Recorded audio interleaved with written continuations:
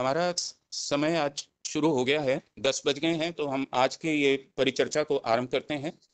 और हमारे साथ, हमारे आज के मुख्य वक्ता प्रोफेसर डॉक्टर सुधीर कुमार जी, जो कि अंग्रेज़ी विभाग, पंजाब यूनिवर्सिटी, चंडीगढ़ से हैं, वो जुड़ चुके हैं। हमारे दूसरे मुख्य वक्ता प्रोफेसर धीरज कुमार जी, जो कि पूर्व अध्यक्ष हैं फिजिक्स विभाग के कुरुक्षेत्र यूनिवर्सिटी से, वो हमारे साथ अभी जुड़ रहे हैं। लगभग अगले 25-30 सेकंड में वो जुड़ जाएँगे। और हम अपनी परिचर्चा जो है वो साथ ही साथ आरंभ कर रहे हैं। आज की इस परिचर्चा को आरंभ करने से पूर्व मैं आपको एक सूचना देना चाहता हूँ। दुखद सूचना है कि इस परिचर्चा में आज उपस्थित होना था प्रोफेसर वीरेंद्र चौहान जी को, जो कि उपाध्यक्ष और निदेशक हैं हरियाणा ग्रंथ अकादमी के। लेकिन उनके घर में एक असामयिक त्रासदी होने के कारण उनके भाई का देहावसान हो गया था। उस वजह से वो हमारे साथ हाथ जुड़ नहीं पाएँगे, लेकिन उन्होंने अपना शुभकामना संदेश अपनी ओर से, हरियाणा ग्रंथ अकादमी की ओर से और उनके सभी सदस्यों की ओर से उन्होंने हम, हमें प्रेषित किया है।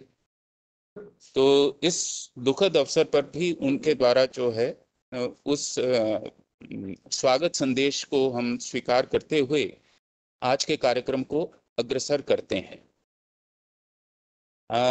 आज जैसा कि आप लोग देख ही पा रहे हैं कि हमारा आज का जो विषय है, हरियाणा ग्रंथ अकादमी पंचकूला के द्वारा प्रायोजित उसके द्वारा आयोजित और प्रायोजित दोनों हैं और हमारे साथ जितने भी आर्ट्स, साइंस और कॉमर्स के जितने भी डिपार्टमेंट्स हैं, उन सभी के साथ मिलकर के और अन्य सभी कॉलेजेस जितने भी आप अपनी स्क्रीन पे देख पा रहे हैं उन सभी के सहयोग से आज हमने ये विषय लिया है, जो इंटरडिसिप्लिनरी अंतर्वैश्विक नेशनल सेमिनार के रूप में, वो है 21वीं शताब्दी में भारतीय ज्ञान परंपरा का परिभाषिकरण defining Indian tradition in twenty century यहाँ पे दो शब्द बड़े महत्वपूर्ण हैं, क्योंकि अगर पृष्ठभूमि को अगर हम मिस कर देंगे, या उसको हमने ठीक से नहीं समझा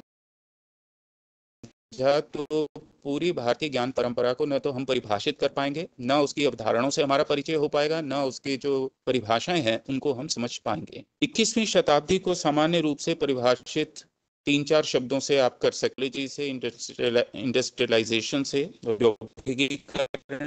आप मार्केटिंग से भी उसको परिभाषित कर सकते हैं ग्लोबलाइजेशन से कर सकते हैं। तो इस कुल मिलाकर के इस तरह के जो पाँच छह शब्द हैं, उनसे 21वीं शताब्दी को परिभाषित किया जाता है।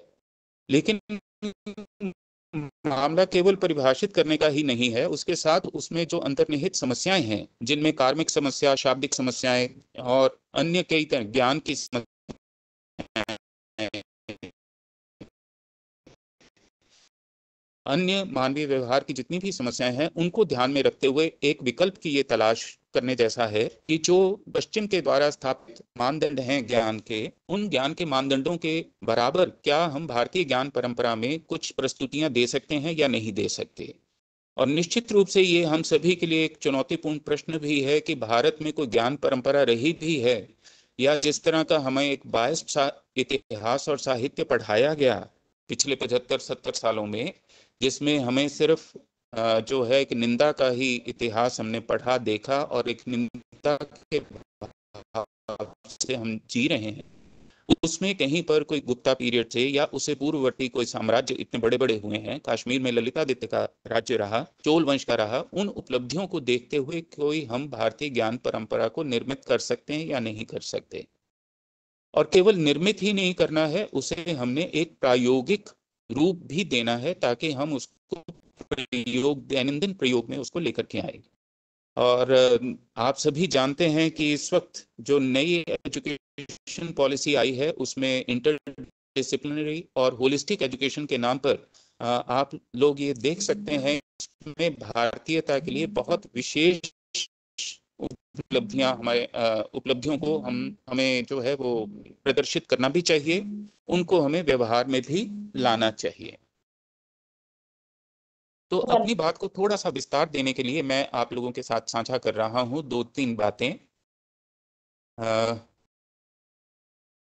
ये कुछ एक प्रश्न थे जो मैंने आप लोगों के साथ अपने जब हम लोगों ने साझा किया था इनविटेशन लेटर बड़े सरल से प्रश्न हैं। इन प्रश्नों को हम अग्रसर करेंगे धीरे धीरे लेकिन ये प्रश्न ज़रूर पकड़ के रखें।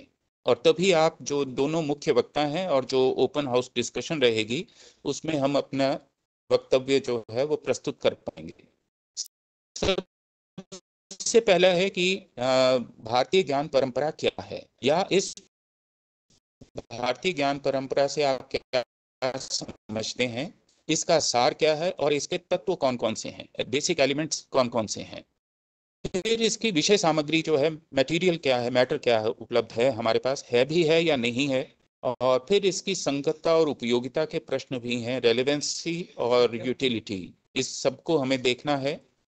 और फिर अगले प्रश्न पर, अगले स्तर पर जब आप जाते हैं तो ज्ञान परंपरा का जो शास्त्रीय प्रारूप है और जो लोक पक्ष है, क्योंकि शास्त्र और लोक के संबंधों को परिभाषित किए बगैर भी आप ज्ञान परंपरा को परिभाषित नहीं कर सकते। और वो संबंध लोक और शास्त्र का कैसा है, क्या है, उसकी शब्दावली, अवधारणाएँ और परिभाषाएँ ये क्या हैं? विषय आज का है। अब इस बात को समझने के लिए आपको दो तीन बातें समझनी होंगी पृष्ठभूमि के तौर पे।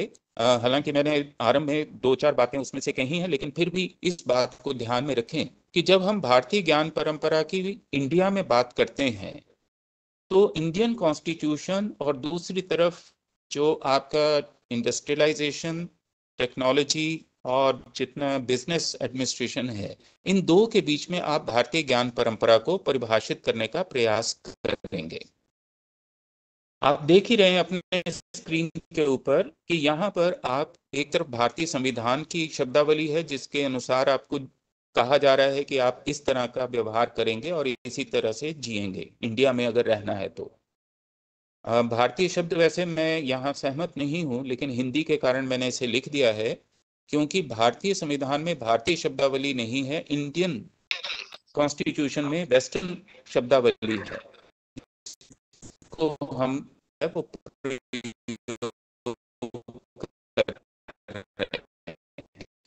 चर्चा करूँगा। और दूसरी तरफ़ हमारे पास उद्योग और व्यापार, जिसमें हम स्मार्ट लोगों की अपेक्षा करते हैं, उनको जो हम शब्दावली सिखाते हैं, परिभाषाएँ सिखाते हैं, वो यहाँ पर है। अब इसके बीच में आप जो देख पा रहे हैं, वो है कि भारतीय ज्ञान परंपरा के तीन पक्ष देखने हैं। एक तो ये कि as a doer as an enjoyer and as a knower यानी कि कर्ता, भोक्ता और ज्ञाता। कि इस भारतीय ज्ञान परंपरा का कर्ता, भोक्ता और ज्ञाता कौन होंगे? कौन लोग इसका यूज़ करेंगे, कौन लोग इसको जानने वाले होंगे और कौन इसका प्रयोग करने वाले दूसरा इसका एक जो डायमेंशन है वो है कि भारतीय ज्ञान परंपरा की जब आप बात करते हैं तो उसके चार लेवल्स हैं, स्तर हैं। पहला है आज्ञान। आज्ञान का मतलब होता है कि किसी भी पदार्थ को, वस्तु को, स्थिति को आप सभी पक्षों से जब जानते हैं तो उसको आप आज्ञान कहते हैं कि हर तरह से कि कितनी लंबी चौड़ी वस्तु है, कितना उसका वेट है, कितनी उसके आयाम है, ये आज्ञान कहलाता है। संज्ञान होता है, संज्ञान की स्थिति वो होती है जहाँ पर आप वस्तु के दोषों को भी जानते हैं, उसके स्वरूप को स्ट्रक्चर को भी जानते हैं। तीसरा स्तर आता है विज्ञान का स्तर, जहाँ पर आप विषय को, वस्तु को, वो कौन से उसके एलिमेंट्स हैं जो उसको बनाते हैं उसको आप समझते हैं। और फिर आप प्रज्ञान के स्तर पे जाते हैं। हालाँकि सामान्य रूप से विज्ञान से ऊपर हम लोग नहीं जाते, लेकिन प्रज्ञान का स्तर वो होता है जहाँ से आप टोटल इन टोटेलिटी वस्तु या स्थिति या हम कहाँ खड़े हैं और हमारा उससे संबंध क्या है, वो प्रज्ञान का स्तर आता है। तो जो एक यूनिवर्सल नॉलेज की जिसे हम बात करते हैं कॉन्शियसनेस की बात करते हैं, वो प्रज्ञान के स्तर पर आती है। तो भारतीय ज्ञान परंपरा की बात करते हुए हमें इन चार स्तरों का भी ध्यान रखना होगा। ये शब्द आपको अजीब लग सकते हैं, क्योंकि सामान्य रूप से न तो साइंसिस में सोशल साइंसिस में और साइंसिस में इनको प्रयोग नहीं किया जाता।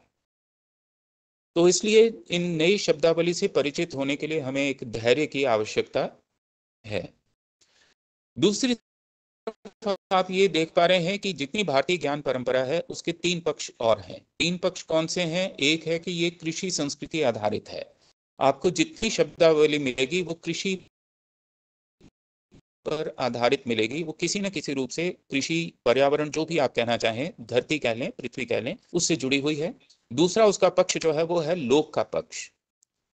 लोक में व्यवहार कैसे होता है और लोक संस्कृति क्या होती है, उससे जुड़ा हुआ है। और तीसरा उसका जो पक्ष है, जिसे शास्त्र आप कहते हैं, अंग्रेज़ी में उसको आप नॉलेज सिस्टम कह सकते हैं, उसके साथ जुड़े हुए हैं।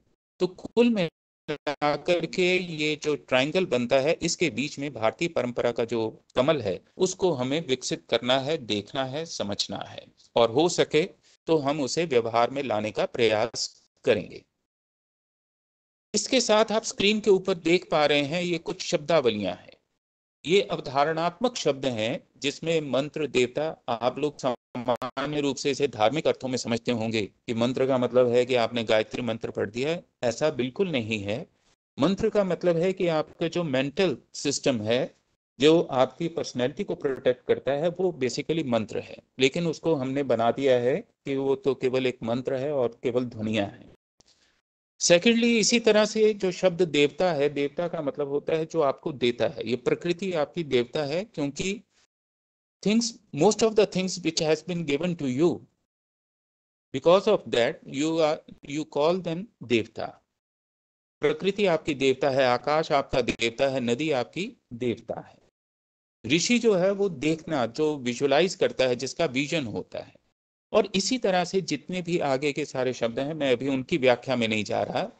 और ये शब्दावली मैं इसलिए भी दिखा रहा हूँ क्योंकि हम लोग जो प्रोजेक्ट शुरू करने जा रहे हैं, हरियाणा ग्रंथ अकादमी की ओर से, जिसमें हम बाकी लोगों को भी इन्वॉल्व करेंगे कॉलेज को भी और इंडिविजुअल्स को भी, उसमें इस अवधारणात्मक शब्दावली को एक एक तरह से जो हैंडबुक होती है हस्त पुस्तिका उसका निर्माण करेंगे और उसको हम प्रयोग में कैसे लाएँगे, उसके साथ वो सारे हम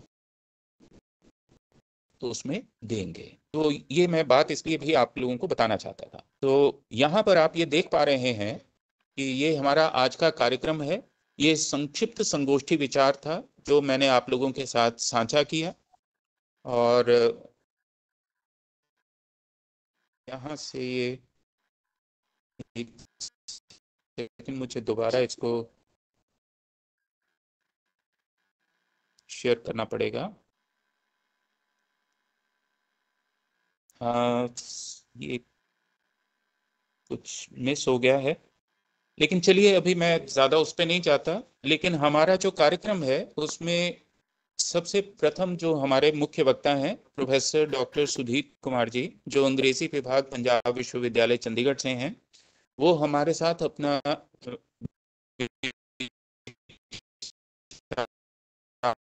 साझा करेंगे और उसके बाद दूसरे हमारे जो आदरणीय मुख्य वक्ता हैं, प्रोफेसर डॉक्टर डी के चतुर्वेदी जी धीरज कुमार चतुर्वेदी जी, जो कि सेवानिवृत्त पूर्व अध्यक्ष हैं फिजिक्स विभाग, कुरुक्षेत्र विश्वविद्यालय कुरुक्षेत्र से, वो हमारे साथ जुड़े हैं। और उसके बाद हमारा जो खुला सत्र रहेगा विचार विमर्श का और वो लगभग डेढ़ एक घंटे का रहेगा। पूरी तरह से आप अपनी अपनी बातें हमारे साथ साझी कर सकते हैं, अपने विचार साझा कर सकते हैं, प्रश्न साझा कर सकते हैं, अपनी प्रेजेंटेशन दे सकते हैं। और हमारे साथ डॉक्टर चंद्र कंवर भारद्वाज जी भी जुड़े हैं, जो अपना वक्तव्य साझा करेंगे बॉम्बे से। आ, दस मिनट का वक्त उनका भी बीच में रहेगा लेकिन खुली चर्चा के सत्र में ही वो लोग अपनी बात हमारे साथ रखेंगे। तो प्रोफेसर सबसे पहले उनको आमंत्रित करने से पूर्व डॉक्टर सुधीर जी के बारे में मैं ये कहना चाहता हूँ कि हालाँकि वो विषय अंग्रेज़ी पढ़ाते हैं लेकिन उससे भी अधिक जितना उनका ज्ञान भारतीय परंपरा के विषय में है गहन व्यापक और सूक्ष्म, तीनों ही पक्षों से वो नितांत प्रशंसनीय है और किसी भी भाषाविद के लिए, किसी भी सोशल साइंटिस्ट के लिए वो एक प्रतिद्वंदिता का के भाव को उत्पन्न करने वाला है। डॉक्टर शालू प्लीज़ आप अपना स्क्रीन शेयर कीजिए। आप अभी स्क्रीन मत शेयर जिसकी वजह से मैं स्क्रीन शेयर नहीं कर पा रहा हूँ। डॉक्टर साहब ने समय समय पर जो है जो Indian institute of advance studies है शिमला में, वहाँ पे भारतीय ज्ञान परंपरा पर वर्कशॉप भी आयोजित की हैं। इसके अतिरिक्त भारतीय ज्ञान परंपरा पर विभिन्न स्थानों पर और विभिन्न देशों में, विदेशों में भी इन्होंने लेक्चर्स दिए हैं और अरविंद गांधी और इस तरह से अन्य जितने भी प्रभावी लोग रहे हैं जिन्होंने भारतीय मानसिकता को प्रभावित किया है, उनके विषय में उनकी विशेष जानकारी रही है। मैं उनका हार्दिक अभिनंदन करता हूँ हरियाणा ग्रंथ अकादमी की ओर से और बाकी जितने भी हमारे साथ जुड़े हुए कॉलेजेस हैं उनकी ओर से मैं उनका हार्दिक अभिनंदन करता हूँ। और साथ ही डॉक्टर डी के चतुर्वेदी जी धीरज कुमार चतुर्वेदी जी आ, उनका भी अगर आप प्रोफ़ाइल देखें तो बड़ा अद्भुत है और आप हैरान होंगे कि इतना काम कोई कैसे कर सकता है। देश विदेश में भ्रमण किया देश विदेश में उन्होंने काम भी किया और सारे रिसर्च प्रोजेक्ट्स किए हैं और अंत में आकर के उन्होंने अपना जो कार्यकाल पूरा किया, वो कुरुक्षेत्र विश्वविद्यालय में किया और वहाँ वो साइंटिफिक एडवाइजर भी रहे, अध्यक्ष भी रहे और भी बहुत सारे काम किए और अभी उनकी एक पुरानी नई पुस्तक आई थी जो उन्होंने भारतीय विज्ञान परंपरा के ऊपर उन्होंने जिसमें चर्चा की है और जितनी अवधारणाएँ फिजिक्स को लेकर के हैं और जो थ्योरीज भारत में विकसित हुई और जो विदेशियों के नाम हमने मर दी वो सारी की सारी हमने यहाँ पर देखी है। तो इन सब बातों को ध्यान में रखते हुए हम आ, उनका हार्दिक अभिनंदन करते हैं स्वागत करते हैं। मैं बहुत ज़्यादा उसमें नहीं जाना चाहता विस्तार में। तो मैं आमंत्रित कर रहा हूँ प्रोफेसर डॉक्टर सुधीर कुमार जी को, जो कि अंग्रेज़ी विभाग पंजाब विश्वविद्यालय से हैं, कि वो हमें दिशा निर्देशन रहे। हमारे दोनों मुख्य वक्ताओं का जो समय रहेगा, वो लगभग आधा आधा घंटा रहेगा। तीस के पैंतीस मिनट हो सकते हैं, कोई दिक्कत नहीं है। लेकिन फिर भी वो समय सीमा को थोड़ा सा ध्यान रखेंगे तो हमें जो है वो आगे के कार्यक्रम में सुविधा रहेगी। तो 30 से 35 मिनट के वक्तव्य के लिए मैं आमंत्रित कर रहा हूँ प्रोफेसर सुधीर कुमार जी को। जी, सर।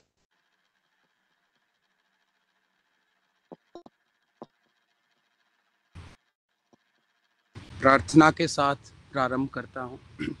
ओम पूर्णमद पूर्णमिदम पूर्णात पूर्णम उत्पतते, पूर्णस्य पूर्णमादाय पूर्णमेवावशिष्यते ओम शांति शांति शांति।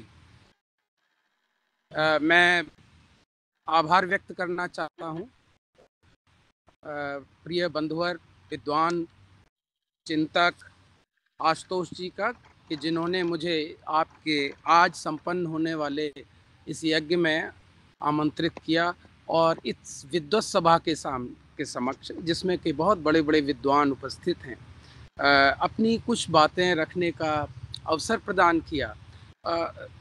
जिसमें कि कुछ मूलभूत बातों पर जो बल दे रहे, जो दिया गया है आशुतोष जी द्वारा वह कितना समीचीन है और वह कितना कितना महत्वपूर्ण है। यह बात आपको इससे पता चलेगी कि आज, हमारे आज के भारत में जिन जिन बातों को लेकर, जिन विषयों को लेकर एक राष्ट्रीय मानस में जो ऊहापोह और उथल पुथल की स्थिति है, वह कमोवेश इस भारतीय ज्ञान संवेदनशील भारतीय ज्ञान के प्रति संवेदनशीलता की जो कमी है हमारे राष्ट्रीय जीवन में, उसके कारण है। संक्षेप में मैं ये कहूँ कि आज हमारे ऊपर जितने बाह्य आक्रमण हो रहे हैं जो हाँ, वैमर्शिक आक्रमण है जिनको हम कहते हैं कि ये भारत ये भारत की यह हमारे भारत की इस भारतीयता के ऊपर आक्रमण हो रहे हैं और भारत की भारत के अपने राष्ट्रीय जीवन के अंदर जो एक उथल पुथल है जो एक जिसे अंग्रेज़ी में कहते हैं एक होता है implosion that there is a crisis which is imploding from within तो एक तो बाह्य आक्रमण है हमारी एक राष्ट्रीय अस्मिता पर और एक हमारे अंदर ही जो हमारी अंत चेतना है, उसके अंदर एक अंतर्द्वंद्व चल रहा है और उसका मूल कारण यह है कि 1835 से जो हमें मैकॉले का सिस्टम मिला था, जिसमें भारतीय ज्ञान परंपरा और प्रणाली और पद्धति से हमें जिस प्रकार से सुनियोजित षड्यंत्र के तहत जैसे हमें बाहर किया गया था। उन्नीस के बाद से भी मित्रों, हमें उसी सुनियोजित षड्यंत्रकारी, जिसे हम कॉन्स्पिरेटोरियल स्ट्रेटजी कहते हैं, हमें एक एजुकेशन सिस्टम दिया गया। हमें ज्ञान परंपरा से हमें हमारी अनभिज्ञता रही। प्रमाण, आप कहें कि भाई ये तो तार्किक मंच है, ये कोई बौद्धिक, ये कोई आध्यात्मिक मंच नहीं है। This is not a platform for mysticism this is not a platform for metaphysical utterances तो आप पूछ सकते हैं कि प्रमाण क्या है तो पहले आप अपने जो भारतीय हाँ। ज्ञान भारतीय ज्ञान परंपरा हाँ। में जो आज आपकी टेक्स्ट बुक्स हैं जो आपकी एनसीईआरटी की टेक्स्ट बुक्स हैं जो उनके द्वारा संपादित डिक्शनरीज हैं शब्दकोश हैं जैसे एनसीईआरटी की डिक्शनरी ऑफ़ सोशियोलॉजी देखिए डिक्शनरी ऑफ़ हिस्ट्री देखिए जो एनसीईआरटी ने बनाई है उसमें इन अवधारणाओं के अर्थ देखिए जिनकी की बात अभी आशुतोष जी कर रहे थे उसमें राष्ट्र की अवधारणा को देखिए उसमें समाज की अवधारणा देखिए उसमें संस्कृति की अवधारणा देखिए।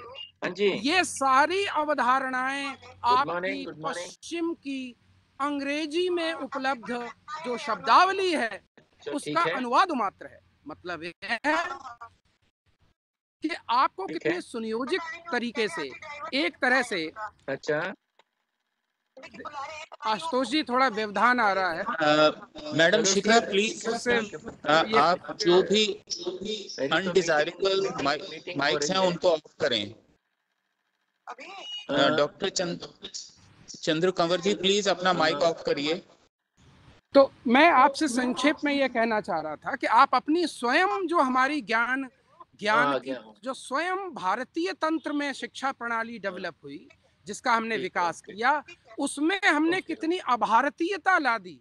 हमने स्वयं अपने को सेल्फ एलियनेट किया। हमने अपने को अपने ज्ञान के केंद्र से और जो हमारे यहाँ ज्ञान का देखिए जो राष्ट्रीय शिक्षा नीति है उसमें साफ़ लिखा है। अब यह पहली शिक्षा नीति है जिसने कि ये कहा कि प्राचीन और सनातन भारतीय ज्ञान और विचार की समृद्ध परंपरा के आलोक में यह नीति तैयार की गई है। ध्यान रहे इसमें न मैकौले है और न वो स्वतंत्रता के बाद का। वह पाश्चात्य, वह अभिजात्य, वह पश्चिमोन्मुखी जो भारतीय तंत्र था, जिसने के एक विशिष्ट प्रकार की शिक्षा प्रणाली का विकास किया था, उसका इसमें समाहार किया गया है।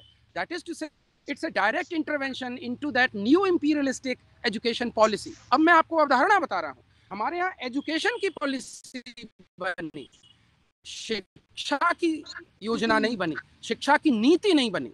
ये अवधारणा के प्रश्न है। Education comes from educare that is a Latin it's a Latin root educare comes from what comes from Indo European root and the meaning of those Indo European roots is to to to make समीड others देखिए, ध्यान दीजिए, education का जो मुख्य अर्थ है, जो मूल अर्थ है, जो उसका नैरुक्तिक अर्थ है, एजुकेशन का because we are making education और एजुकेशन पॉलिसीज़ है ना? ये भी कहा जा रहा है न्यू एजुकेशन पॉलिसी लेकिन ये चूँकि शिक्षा को केंद्र में लेकर बनाई गई है, इसलिए इसमें अवधारणात्मक और सामाजिक और सांस्कृतिक मूल विरोध है इसमें उन एजुकेशन पॉलिसी से। क्यों? एडु केयर का अर्थ ही होता है to enable you to lead others ना there is no ethics involve in education etymologically मैं आपको की व्युत्पत्ति के आधार पर बता रहा हूँ, अवधारणा के आधार पर बता रहा हूँ कि पूरी पाश्चात्य एजुकेशन का जो है, जो बर्डन है, burden is to enable an individual to empower an individual and empower that individual so holistically that that the individual is able to control others to conquer others to consume others to lord over others Ashutosh जी समझ में आ रहा है आपको education का जो तात्विक जो पाश्चात्य विमर्श में जो तात्विक अंतर और इसीलिए ध्यान रहे 19वीं शताब्दी से पहले पूरे पश्चिम में कोई एजुकेशन सिस्टम नहीं था यह आप बहुत गौर करने की बात है कि जब इंडस्ट्रियल रेवोल्यूशन उत्पन्न होती है industrial along with industrial revolution comes the four wheels of education ना वो उसी प्रकार का इकोनॉमिक ह्यूमन बनाना चाह रहे थे। वह उस प्रकार के आर्थिक मानव का निर्माण करना चाह रहे थे, जो कि संपूर्ण विश्व में अपनी सर्वग्रासी, भौतिकतावादी दृष्टि से विश्व पर क्या करे? न केवल नेतृत्व करे, विश्व को अपना उपनिवेश बनाए। इसलिए एजुकेशन और वो जो उनका उपभोक्तावादी विमर्श है विमर्श है, भौतिकतावादी विमर्श है, जो उपयोगितावाद का विमर्श है, उसको अलग अलग नहीं किया जा सकता। वहाँ बंधाय विद्या विमुक्त आयासाया परम कर्म, विद्यन्या शिल्प नैपुण्यम यह विष्णु पुराण का यह श्लोक वहाँ नहीं है कि विद्या या ज्ञान वही है जो मुक्ति की ओर ले जाए जो सर्व की मुक्ति की ओर ले जाए। ध्यान रहे हमारे यहाँ भी आप आप ईशावास्योपनिषद देखिए तो वहाँ पर विद्या और अविद्या दोनों की उपासना बताई है। वही व, वही समाज वही संस्कृति अपने ध्येय को प्राप्त कर सकता है। वह ज्ञान कर्म भक्ति इन सब के संयोग से इन्हें समायोजित करके जो समाज जो समाज अविद्या मृत्युम तीर्थवा विद्याम अमृतम उष्णुते। जो अविद्या जो हमारी मटेरियल नॉलेज है जिसे आप सेकुलर नॉलेज कहते हैं नॉलेज जिसका आप इस्तेमाल करते हैं यह शब्द भी देखिए कितना knowledge is power western discourse आप देखिए पूरा फुको आपको बताता है कि किस प्रकार से हम ज्ञान के माध्यम से सत्ता या वर्चस्व को स्थापित करते हैं उन पर जिनके पास वो ज्ञान नहीं है। इसलिए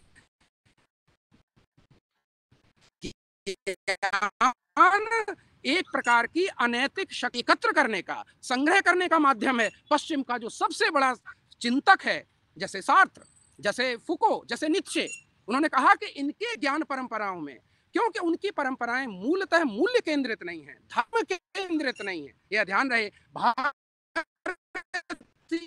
जब हम भारतीय ज्ञान परंपरा की बात करते हैं तो उससे धर्म और मुक्ति या धर्म और मुक्ति, ये दो मूल बीज हैं। ये बीज अवधारणाएँ हैं और तीसरी अवधारणा जो है वो पुरुषार्थ की है, जिसमें कि धर्म, अर्थ, काम और मोक्ष हमारी ज्ञान परंपरा इन दोनों को लेकर चलती है। आपको एक उदाहरण देता हूँ। यह जो क्राइसिस हुई, यह जो आधुनिकता की जब हमारे ऊपर चपेट पड़ी, उसमें हमारे ऊपर जब प्रहार हुआ तो हमें उसी प्रकार से आधुनिक बनने को कहा गया, बाध्य किया गया लगभग, और उसमें हमारे भारतीय ही सबसे ज़्यादा अपराधी सिद्ध होते हैं, क्योंकि गांधी को जिस तरह से अलग किया गया, आनंद कुमार स्वामी को जिस तरह से अलग किया गया, श्री अरविंदो को जिस तरह से अलग किया गया, अंबेडकर को जिस तरह से अलग किया गया, स्वामी विवेकानंद को जिस तरह से अलग किया गया, स्वामी दयानंद सरस्वती के विमर्श को जिस तरह से अलग किया गया, आपने अपने, इसके लिए कोई भी मैकॉले जिम्मेवार नहीं है। मैकॉले जिम्मेवार उन्नीस चौदह दिसंबर उन्नीस, चौदह अगस्त उन्नीस तक वो मैकॉले जिम्मेदार था। 16 अगस्त के बाद मैकॉले की कोई जिम्मेवारी नहीं है। या हमारी वो पूरी उस प्रकार की कहानी जब हमारे ऊपर, दूसरी जिसे आप तुर्क इस्लामी शक्तियाँ कहते हैं, जिन्होंने हमारे ऊपर बहुत बड़े प्रहार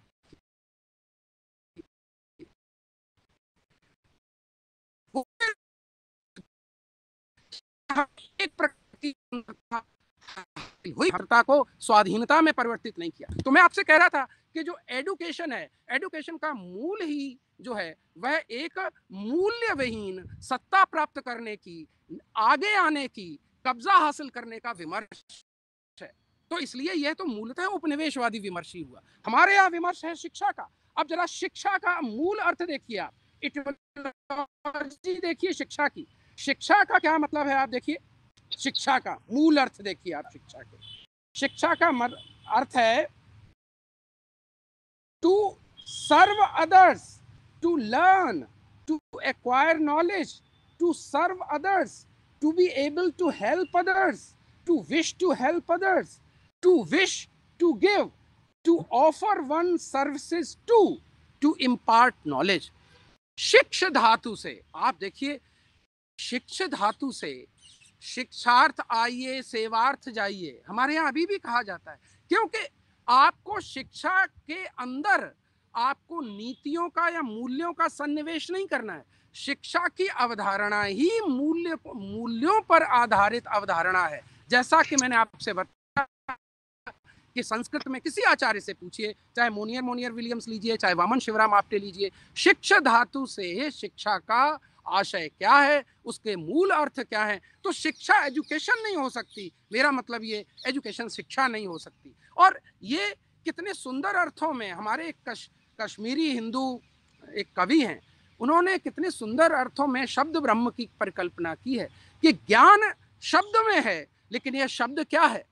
तो मैं ललद्यद नाम की एक कविता एक काव्य ग्रंथ है हमारे अग्निशेखर जी का। उनकी दो लाइनें आप सुनिए पहले। फिर मैं आपको प्रसाद की पीड़ा बताऊँगा कि में किस प्रकार से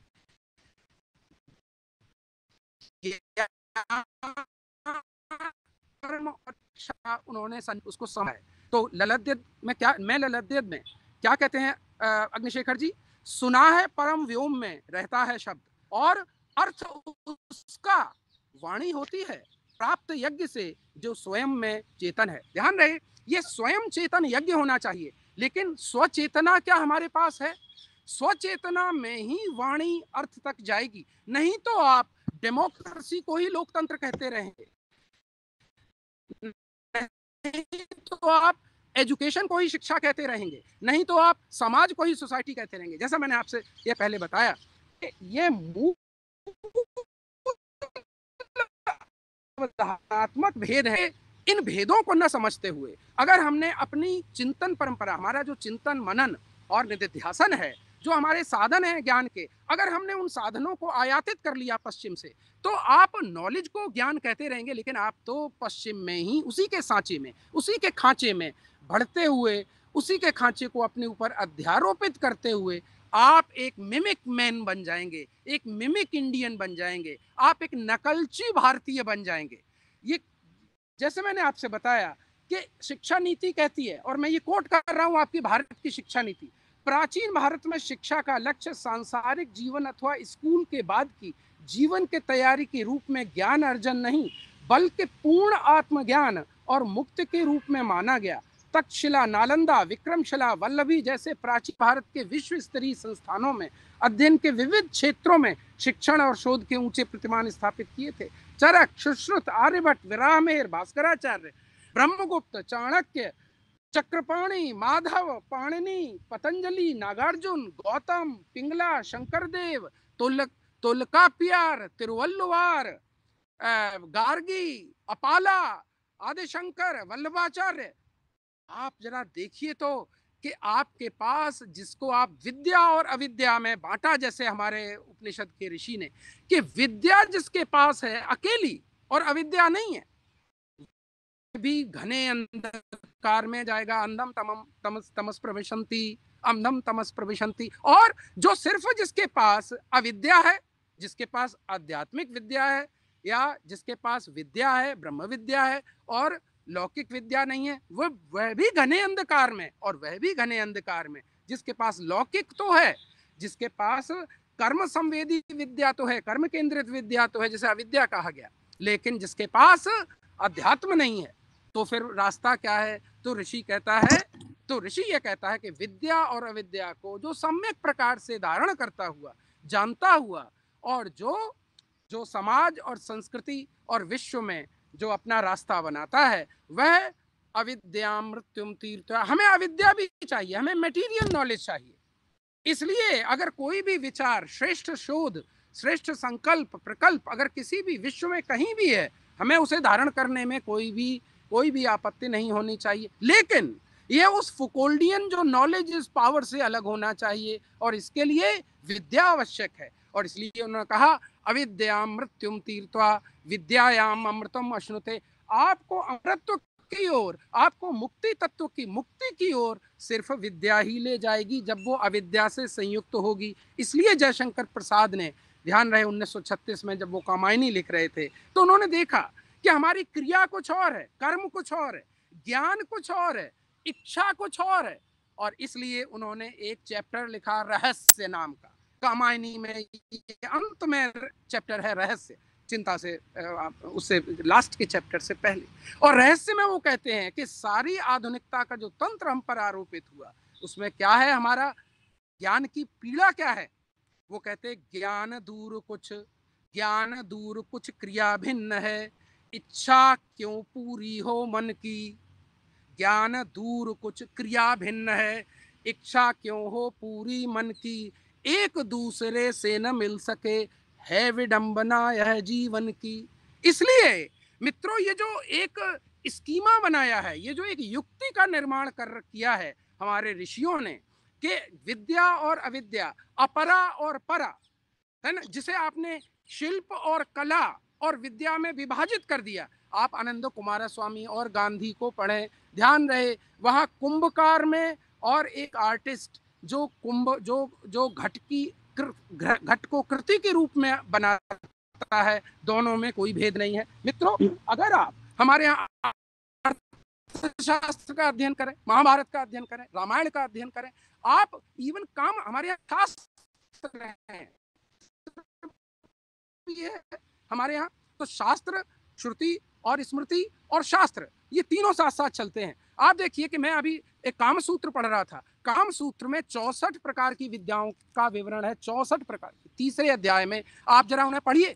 उन चौसठ प्रकार की विद्याओं में आपके नाखून काटने से लेकर आपके सारे साइंटिफिक डिस्कवरी साइंटिफिक इन्वेंशंस, आपकी जिसे आप कहते हैं सेकुलर साइंस इंपेरिकल साइंस, वहाँ से लेकर आपकी गार्डनिंग तक, ज्योतिष तक काव्य शास्त्र भी, आपकी पूरी आर्किटेक्चर आपका पूरा, जिसे आप लिंग्विस्टिक्स कहते हैं, वो आपका पूरा थिएटर आपका पूरा, जिसे आप कहते हैं कि पूरा विश्व जो है, हमें उसमें डिप्लोमेसी हमें कूटनीति दंड नीति आप ध्यान रहे आन्विशिकी त्रयी, वार्ता और दंड नीति ये आचार्य चाणक्य कहते हैं कि चारों आवश्यक हैं आपके लिए।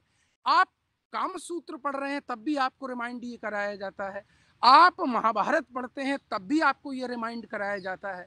आप रामायण पढ़ते हैं तो आप शुरू से जरा देखिए, आप अयोध्या का वर्णन देखिए और लंका का वर्णन देखिए। आपको पता होना चाहिए कि किस प्रकार की विज्ञान पर आधारित ये दोनों महान महान नगर थे।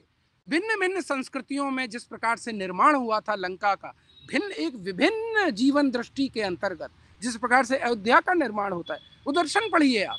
और इनके ऊपर ग्रंथ भी हैं। सबसे बड़ी बात यह है कि आज आपके भारत में कम से कम दो तीन लाख मैन्युस्क्रिप्ट हैं, जिनका के अभी अध्ययन किया जाना बाकी है, शेष है। जब ये आपकी भारतीय भाषाओं में वो ज्ञान उपलब्ध होगा, देखिए, मैं आपको बताऊँ कि कुछ बहुत अच्छा प्रयत्न भी हो रहा है हमारे यहाँ। हमारे यहाँ भारतीय इंडियन नॉलेज सिस्टम पर यह एक किताब अंग्रेज़ी में ही सही मित्रों, यहाँ इसलिए बताना चाह रहा हूँ कि हमारा पूर्वाग्रह होता है कि हमें सारा भारतीय ज्ञान परंपरा हमें अंग्रेज़ी में पहले उपलब्ध कराई जाए, क्योंकि it is only through the medium of English that we can present our knowledge system in the global space now this is a blunder of the first order किसी भी स्वाधीन समाज में सबसे पहला ज्ञान की निर्मित उस समाज की भाषा में होती है। इसलिए यह पहली शिक्षा नीति है जिसने कि यह लगभग अनिवार्य कर दिया था कि, कि ज्ञान जो हो ज्ञान की संप्रेषणीयता जो होनी चाहिए ज्ञान को का वितरण जो होना चाहिए ज्ञान की उपलब्धता जो होनी चाहिए वो भारत की भाषाओं में हो। तो यह जो पुस्तक आई Indian knowledge system concept and applications यह महादेवन रजत जी और और आर एन नगेंद्र जी ने लिखी है। बहुत महत्वपूर्ण है क्योंकि इसमें विज्ञान का और सामाजिकी का, मानविकी का और आर्ट और काव्य का इसमें संयोजन है। सभी प्रकार से इसमें संयोजन है। और कहा है कि किस प्रकार से? वह भारत की जो सनातनी प्रज्ञा है, जो सारस्वत परंपरा है, उस पर ही आधारित है। लेकिन अगर ये भारत की ज्ञान परंपरा भारतीय भाषाओं में सबसे पहले नहीं आती, जो परस्पर संवादरत हों, जैसे कि हमें आज यह डिस्कशन अगर हम अपनी पंजाबी और हिंदी में कर रहे हैं तो यही डिस्कशन के बिंदु कन्नड़ में भी हो रहे हों, तमिल में भी हो रहे हों, और तमिल और हिंदी के बीच में क्या संवाद की स्थिति है? कन्नड़ और हिंदी के बीच में संवाद की स्थिति क्या है? बंगाली और हिंदी के बीच अगर बंगाली और हिंदी के बीच में संवाद मात्र अंग्रेज़ी के माध्यम से होगा तो हम, ये हमारी हार है, फिर पराधीनता के दुष्चक्र में फंसेंगे। ध्यान रहे, गांधी ने हिंद स्वराज में, और उससे बड़ा स्टेटमेंट है नहीं कोई, कि भारत की आने वाली पीढ़ियाँ श्राप देंगी, अंग्रेज़ी पढ़े लिखे पश्चिमोन्मुखी बौद्धिकों को, जो इस भारत की गुलामी के लिए, पराधीनता के लिए मूलतः जिम्मेदार हैं। यह गांधी ने 1909 में हिंद स्वराज में लिखा। मेरे ख्याल से गांधी ने जितने अपशब्द और विवेकानंद ने भारतीय अंग्रेज़ी बोलने वाले पश्चिमोन्मुखी, ध्यान रहे, अंग्रेज़ी से विरोध उनका नहीं है। अंग्रेज़ी के वर्चस्व से मुझे आप उस चिंतक का नाम बताइए। आप टैगोर को लीजिए, श्री अरविंदो को लीजिए। आप ये चिंतक ऐसे थे जिन्होंने अद्भुत अंग्रेज़ी में लिखा है। स्वामी विवेकानंद को लीजिए। लेकिन इनका अंग्रेज़ी के वर्चस्व का विरोध देखिए। भारत के ज्ञान को अंग्रेज़ी में प्रस्तुत किया जाए। इसके लिए मुझे आप जरा जरा व्याख्यान बताइए। मुझे आख्यान बताइए। इसका विरोध है। क्योंकि अंग्रेज़ी के साथ, इसलिए अंग्रेज़ी का एक सेतु का काम करे जहाँ हमारा वैश्विक विमर्श आता है। लेकिन अंग्रेज़ी वहाँ बहुत बड़ी बाधा हो जाएगी। अगर भारतीय ज्ञान और विद्याओं का प्रचार प्रसार अंग्रेज़ी के माध्यम से अब भी होता रहेगा। इसमें बहुत बड़ा परिवर्तन आ रहा है मित्रों। हमारे एम की बी टेक की इंजीनियरिंग की टेक्स्ट बुक्स 19 भाषाओं में भारतीय सरकार, जो हमारी अब की सरकार है, उसने उपलब्ध कराई है। यह राष्ट्र का संकल्प है। यह मेरी अभी बात हो रही थी चमू शास्त्री जी से, जिनको ये संकल्प दिया गया है। उन्होंने कहा कि यह 19 भाषाओं में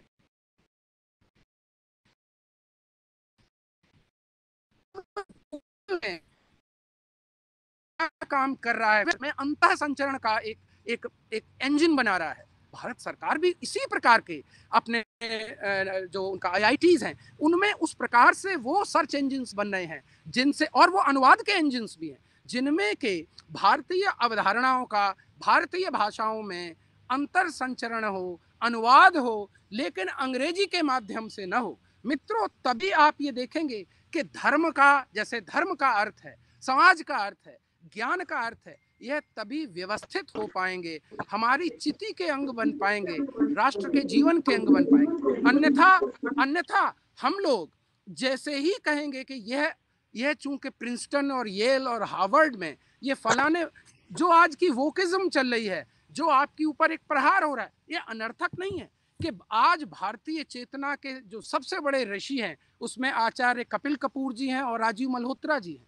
आप जरा आचार्य कपिल कपूर जी की इंडियन नॉलेज सिस्टम पे पहली पुस्तक दो वॉल्यूम में, आचार्य कपिल कपूर जी ने आई शिमला में और यहाँ पर तैयार करवाई डी के पब्लिकेशन से। मित्रों, जरा पढ़िए, उसका इंट्रोडक्शन पढ़िए।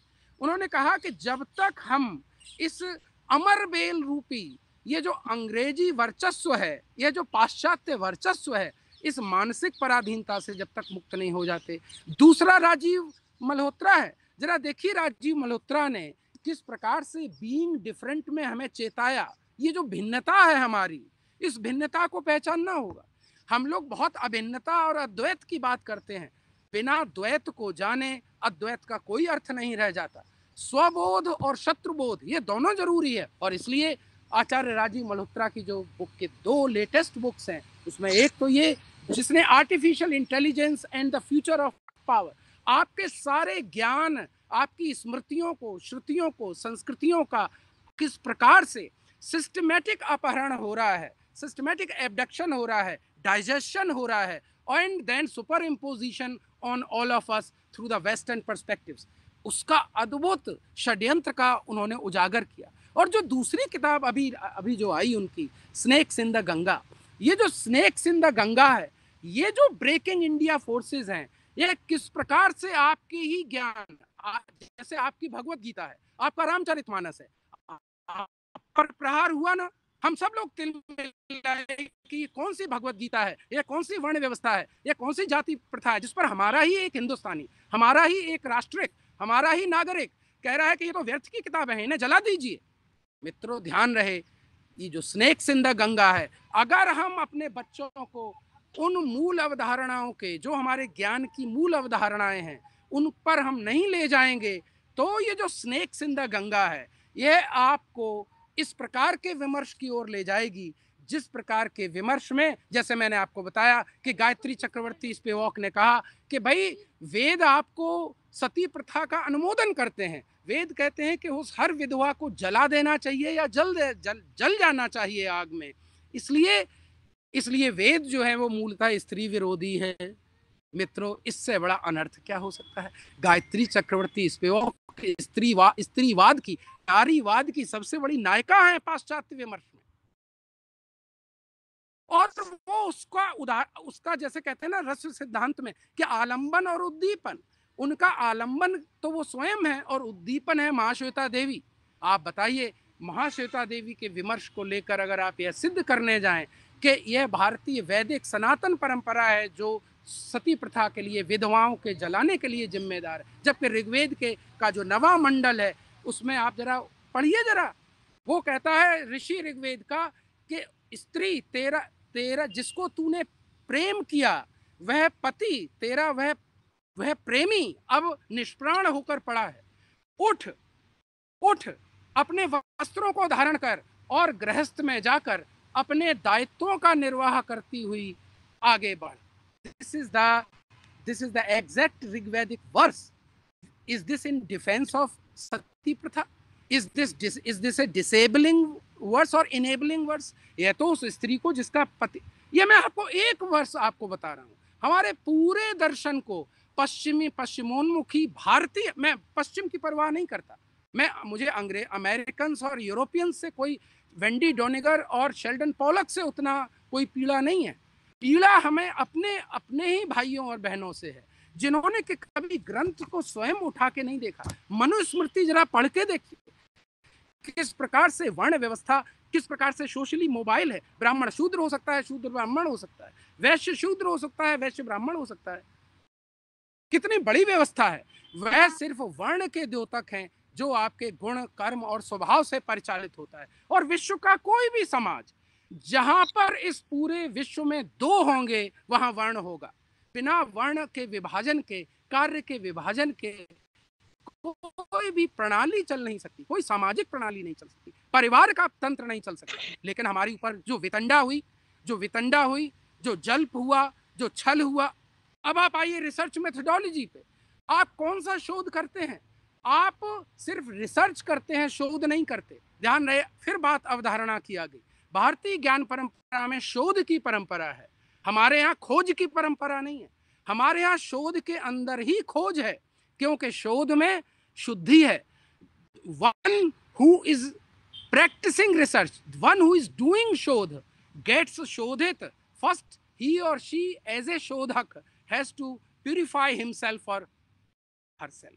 And then in the process of this shodha, which is the process of purifying knowledge, you expand knowledge, reform knowledge, reconstruct knowledge, but this knowledge should also point to the aim of shodhan. समाज का शोधन होना चाहिए संस्कार होने चाहिए इसमें सारे पर्यावरण का शोधन होना चाहिए इसलिए we don't have to affiliate our sales to S D Gs कि भाई ये सस्टेनेबल डेवलपमेंट गोल्स हैं हमारे, ये सत्रह ये हमारे भारतीयों को हमारे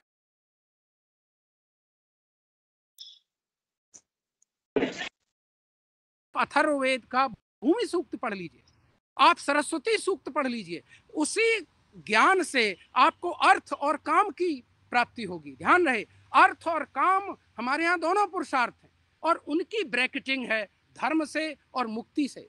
मित्रों, ये अकारण नहीं है कि भारत को ही केंद्र में लेकर और सारे पाश्चात्य जगत से और सारे पश्चिम से अटैक्स जो हो रहे हैं, वो सारे उसके केंद्र में भारत है। अगर भारत से ज्ञान चला जाता है, अगर हमारी अपनी दृष्टि, जैसा कि इसमें कहा गया कि हमें अपनी पूर्ण आत्मज्ञान और मुक्त परक ज्ञान की ओर, जो सारे भारतीय भाषाओं में समान रूप से प्रवाहित हो रही है, यहाँ आर्य और द्रविड़ का भेद नहीं है। यहाँ नॉर्थ साउथ ईस्ट और वेस्ट का भी भेद नहीं है। वही सरस्वती का प्रवाह हमें पुनः पकड़ना है। और उसके बाद आनो भद्रा कृतवो विश्वता हमारे पास जो भी भद्र है उसका स्वागत है।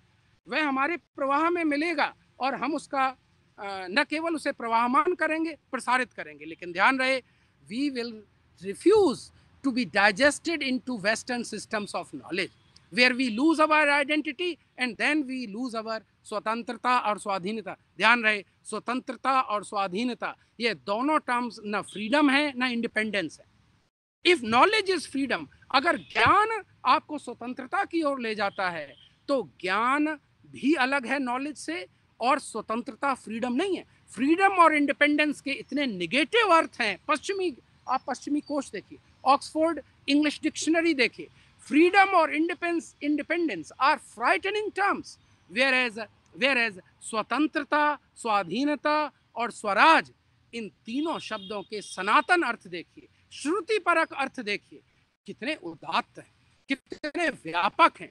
इसलिए मित्रों मैं यहाँ पर वाणी को विराम देना चाहूँगा कि जो हमारे ऊपर समग्र, जो हम, हमें आवश्यकता भारतीय ज्ञान परंपरा को जानने की क्यों है वह एक ये कि हमें लौट फिर कर अपने सारे विषयों में, जो विषय आज आपको खंड खंड रूप से पढ़ाए जाते हैं, कि यह विषय ह्यूमैनिटीज़ में है, यह सोशल साइंसेज और ह्यूमैनिटीज़ में है, ये आर्ट्स हैं और यह आपको साइंसेज हैं, जिन्हें आप कहते हैं नॉर्मेटिव साइंसेज हैं। इनको पुनः समग्रता रूपी ज्ञान के दर्शन से समझना होगा, इनका एक मैट्रिक्स समझना होगा। जब आप उस मैट्रिक्स को समझ लेंगे, उसके जीव द्रव्य को समझ लेंगे तो ज्ञान की जो भिन्नताएँ हैं, जो जो अनुशासन जन्य जिसे आप बहुविषयी ज्ञान कहते हैं, वो बहुविषयी ज्ञान की एक अद्वैत की स्थिति आप उत्पन्न होगी। कि हमारा माली माली नहीं कहलाएगा?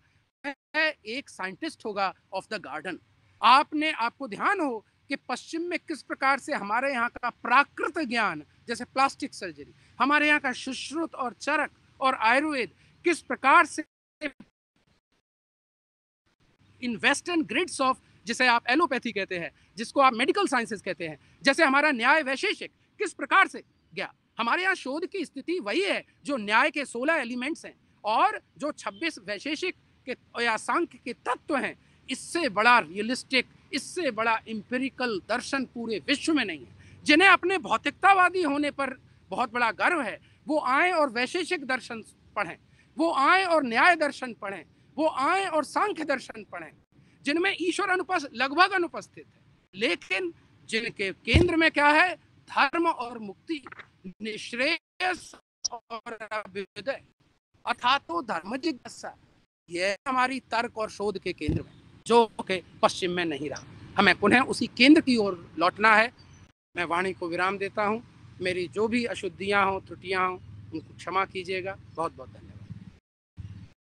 धन्यवाद, डॉक्टर। साहब आपने बहुत ही व्यापक जितने इसके आयाम थे, उन सभी आयामों को स्पर्श करने का प्रयास किया है और उसमें आपने जो अंतर्दृष्टि देने का सफल प्रयास किया है तो उसके लिए हम आपके प्रति आभारी हैं।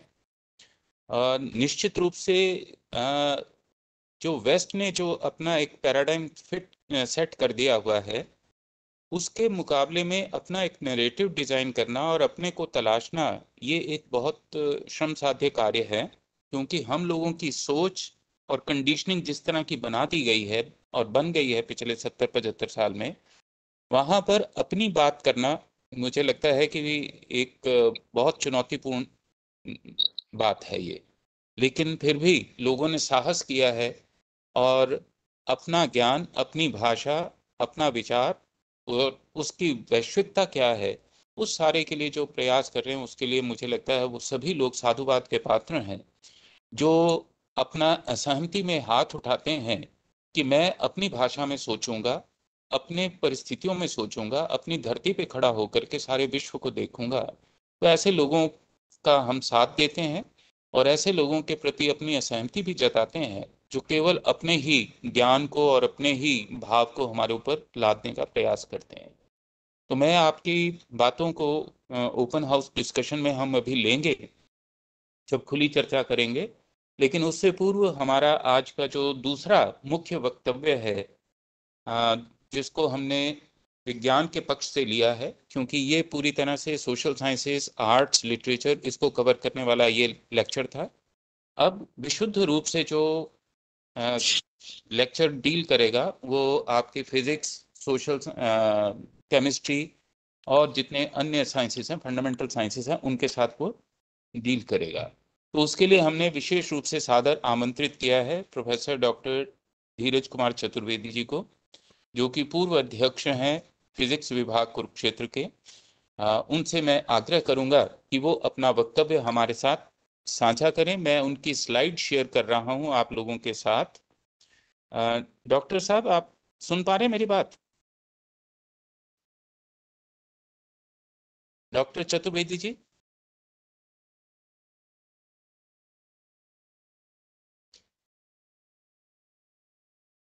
डॉक्टर चतुर्वेदी जी, आप सर सुन पा रहे हैं मेरी बात?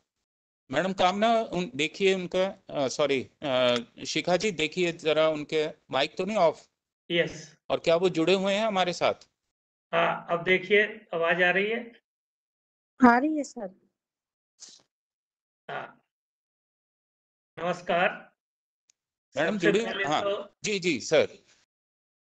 मैं आपको धन्यवाद देना चाहूँगा। इस गोष्ठी में आपने मुझे आमंत्रित किया कि मैं अपने विचार आप सबसे साझा कर सकूँ। आज का विषय बहुत ही अच्छा विषय है, जिसमें कि हम अपनी जो एजुकेशन प्रणाली है, उसको चेंज क्यों करना चाहते हैं? और दूसरा है, कैसे करना चाहते हैं? तो इन दोनों ही चीज़ों पर मैं बात करूँगा। तीसरी बात जो अभी चल रही थी कि हम अपनी भाषाओं में ज्ञान को क्यों नहीं लेते? तो इन तीन विषयों पर मैं बात करूँगा। पहली चीज़ मैं बात करना चाहूँगा कि साइंस के बारे में कि ये मैंने अभी ये किताब लिखी है, साइंस इन एंशियंट इंडिया। तो 24 जनवरी को मेरा एक लेक्चर था गुड़गांव के एक स्कूल में ये ऑनलाइन था। छठी क्लास के विद्यार्थी थे। तो बड़े ध्यान से बच्चों ने सुना और उसके बाद एक बच्चे ने मुझसे पूछा कि आपको ये मोटिवेशन कहाँ से आया? किस क्यों आया? तो क्वेश्चन बड़ा अच्छा था। तो मैं यहीं से अपनी बात शुरू करूँगा कि इस विषय का मोटिवेशन मुझे क्यों आया और कहाँ से आया? इंडिया में और विदेशों में मैंने काफ़ी वर्षों तक काम किया और जब भी कोई साइंस की किताब हम लेते थे तो हमेशा कोई भी खोज हो, उसमें या तो अमेरिकन होते थे या यूरोपियन नाम है। हिंदुस्तानी का कभी नाम नहीं सुना सिवाय सीवी रमन के। तो ऐसा लगता था कि क्या साइंस सिर्फ़ वेस्ट की साइंस है? अगर वेस्ट की साइंस को देखें तो सारी साइंस 16 शताब्दी से शुरू होती है। 16 शताब्दी से पहले उनका कुछ भी नहीं है। तो क्वेश्चन आता है, क्या 16 शताब्दी से पहले साइंस नहीं थी? तो अगर साइंस नहीं थी तो हमारे यहाँ कैसे इतने इतने अच्छे मंदिर बन गए, बहुत सारी चीज़ें हुई और हमेशा सुनते थे कि हमारा ज्ञान बहुत ज़्यादा है। हमारे शास्त्रों में साइंस है, लेकिन क्या है हमको नहीं पता क्योंकि हमको शास्त्री नहीं पता। तो यहाँ से मैं शुरू करूँगा। चार चीज़ें मैंने यहाँ पर पाँच चीज़ें ली हैं कि हमारा मैथमेटिक्स, एस्ट्रोनॉमी क्या था? एंशियन इंडियन साइंस क्या थी? एनवायरमेंट साइंस क्या थी? आयुर्वेदा मींस मेडिसिन क्या था? और इंडियन काउज मैंने चूज़ किया है क्योंकि गाय को हम माता है, कहते हैं। तो हम माता इसको क्यों कहते थे? यहाँ से मेरा शुरू है। अब शुरुआत करने से पहले, जैसे अभी हम बात कर रहे थे, अब मैकाले से शुरू करते हैं। तो हमें समझना पड़ेगा कि मैकॉले का रीजन क्या था? क्यों उसने अंग्रेज़ी शिक्षा यहाँ पे लाया? तो अगर आप उसका भाषण सुने, उसकी इंटरनेट पे भी अवेलेबल है और ऑफिशियल रिकॉर्ड्स में भी है, उसने दो चीज़ कही थी। उसने कहा था, क्योंकि वो इंडिया का इंचार्ज था ब्रिटिश इंडिया कंपनी का तो वो सारा इंडिया घूमा था। उसने अपनी रिपोर्ट जो ब्रिटिश संसद में दी, उसमें उसने कहा कि इंडिया का मैं सारे जगह घूमा हूँ नॉर्थ साउथ ईस्ट वेस्ट और इंडिया का जो लिटरेसी रेट रेट है, वो 92 परसेंट है। तो उससे कहा गया कि भाई बताओ रीजन वाइज क्या है? तो उसने कहा साउथ में हंड्रेड परसेंट है। और बाकी जगह वेरी करता है बट 80 से कम कहीं नहीं है। और ओवरऑल इंडिया का लिटरेसी रेट 92 परसेंट है। तो फिर दूसरा क्वेश्चन जो उससे किया गया कि वहाँ कौन से लोग आते हैं? क्योंकि हमारी सोसाइटी को जैसे मनु का नाम लिया जा रहा था, चार वर्ण हैं तो उसने कहा चारों वर्णों के लोग शिक्षा पाते हैं। तो इसलिए ये कहना कि सिर्फ़ एक सर्टेन विशेष समुदाय को शिक्षा का अधिकार था, बाकी वो था ही नहीं, बिल्कुल गलत है। फिर वहाँ किसी एमपी ने पूछा कि ब्रिटेन में शिक्षा का क्या अनुपात है? तो बताया गया कि अठारह की बात है कि ब्रिटेन में उस टाइम सिर्फ़ 17 परसेंट साक्षरता थी। तो कहा 92 परसेंट, कहा 72 17 फिर उससे कहा गया उसने कहा कि इंडिया में इकोनॉमी इतनी अच्छी है, कोई भिखारी नहीं है। तो जब मैंने ये इंटरनेट पर पढ़ा तो काफ़ी लोगों ने कमेंट किया और उसमें कहा, ये फेक न्यूज़ है। ये कैसे हो सकता है इंडिया में भिखारी नहीं थे? इतना रईस था। ऐसा हो ही नहीं सकता। तो इसके सपोर्ट में मैं एक आपको आंकड़ा देना चाहूँगा। ये आंकड़ा मेरा नहीं है बल्कि यूरोप के एक इकोनॉमिस्ट का है, उसने 18वीं शताब्दी से और हमारे इंडिपेंडेंस तक वर्ल्ड की इकोनॉमी का मैप बनाया। और उसने कहा कि 18 सेंचुरी में पूरे इंडिया पूरे वर्ल्ड की इकोनॉमी में इंडिया का परसेंटेज 37 परसेंट था और विच द हाइएस्ट मतलब India was contributing highest in world economy 37 percent दूसरा नंबर था चाइना का, जो कि 18 परसेंट था। तीसरा नंबर जापान का था, जो 12 परसेंट था, और यूरोप का वन टू टू परसेंट था।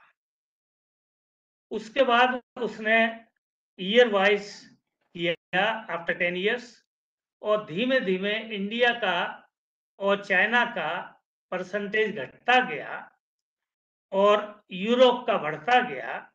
एंड बाई द 1947 जब हम इंडिपेंडेंट हुए हैं, यूरोप का कंट्रीब्यूशन 39 परसेंट था और हमारा वन परसेंट था। India was among the poorest nation of the world तो ये तो इस सिस्टम के द्वारा हुआ। अब क्वेश्चन आता है कि इंडियन इकोनॉमी इतनी अच्छी थी कैसे? तो जब वो कहते हैं कोई वैगन नहीं था, अगर आप गाँव का सिस्टम देखें तो सेल्फ कॉन्टेंट था। कोई बर्तन बनाने वाला था, कोई कपड़ा बुनने वाला था, कोई किसी उद्योग में था, कोई किसी में था तो सारे लोग एम्प्लॉयड थे सेल्फ एम्प्लॉयड थे।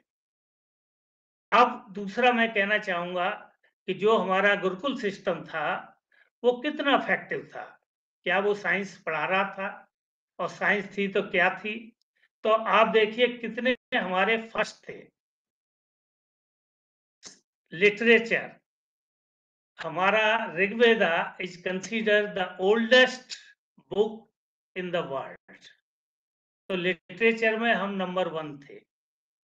दूसरा आता है मेडिसन मेडिसिन में हमारा Ayurveda that was the oldest medical system in the world Ayurveda में आप देखिए, लोग सोचते हैं कि सिर्फ़ जड़ी बूटी देते हैं। आयुर्वेद ने सबसे पहला सर्जरी की है। से Sushruta was the first surgeon of the world तो सर्जरी भी हमारे यहाँ से शुरू हुई। वैक्सीन सबसे पहली वैक्सीन इंडिया में बनी। That was smallpox vaccine जो यहाँ से चुरा के इंग्लैंड वाले ले गए और अपने यहाँ पेटेंट करा लिया। फिर आते हैं इंजीनियरिंग इंजीनियरिंग आप कहेंगे कि गुरुकुल में इंजीनियरिंग कहाँ से आई? तो आपको मैं बताऊँ कि विशाखापट्टनम के पास एक गुरुकुल था। उसने कावेरी पे थर्टीन सेंचुरी में एक डैम बनाया। कावेरी नदी साउथ की सबसे बड़ी नदी है और ये डैम कोई छोटा मोटा नहीं था, इस one kilometre long dam.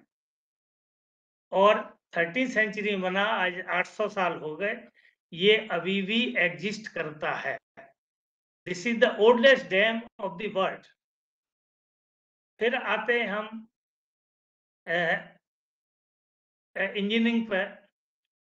Metallurgy हमारी सबसे बेस्ट मेटलर्जी थी। उसका उदाहरण आप कुतुब मीनार जाइए, जो आयरन पिलर है, अभी तक रस्ट नहीं लगा है, लोग समझ नहीं पा रहे कैसे लगा। अब ये अकेली चीज़ नहीं थी, ये शो करता है कि मेटलर्जी जब थी तो हमारे इंस्ट्रूमेंट्स थे, वो भी बहुत अच्छे थे। और उन्हीं इंस्ट्रूमेंट्स की बदौलत हम इतने अच्छे स्कल्पचर्स बना पाए जो मंदिरों में हैं।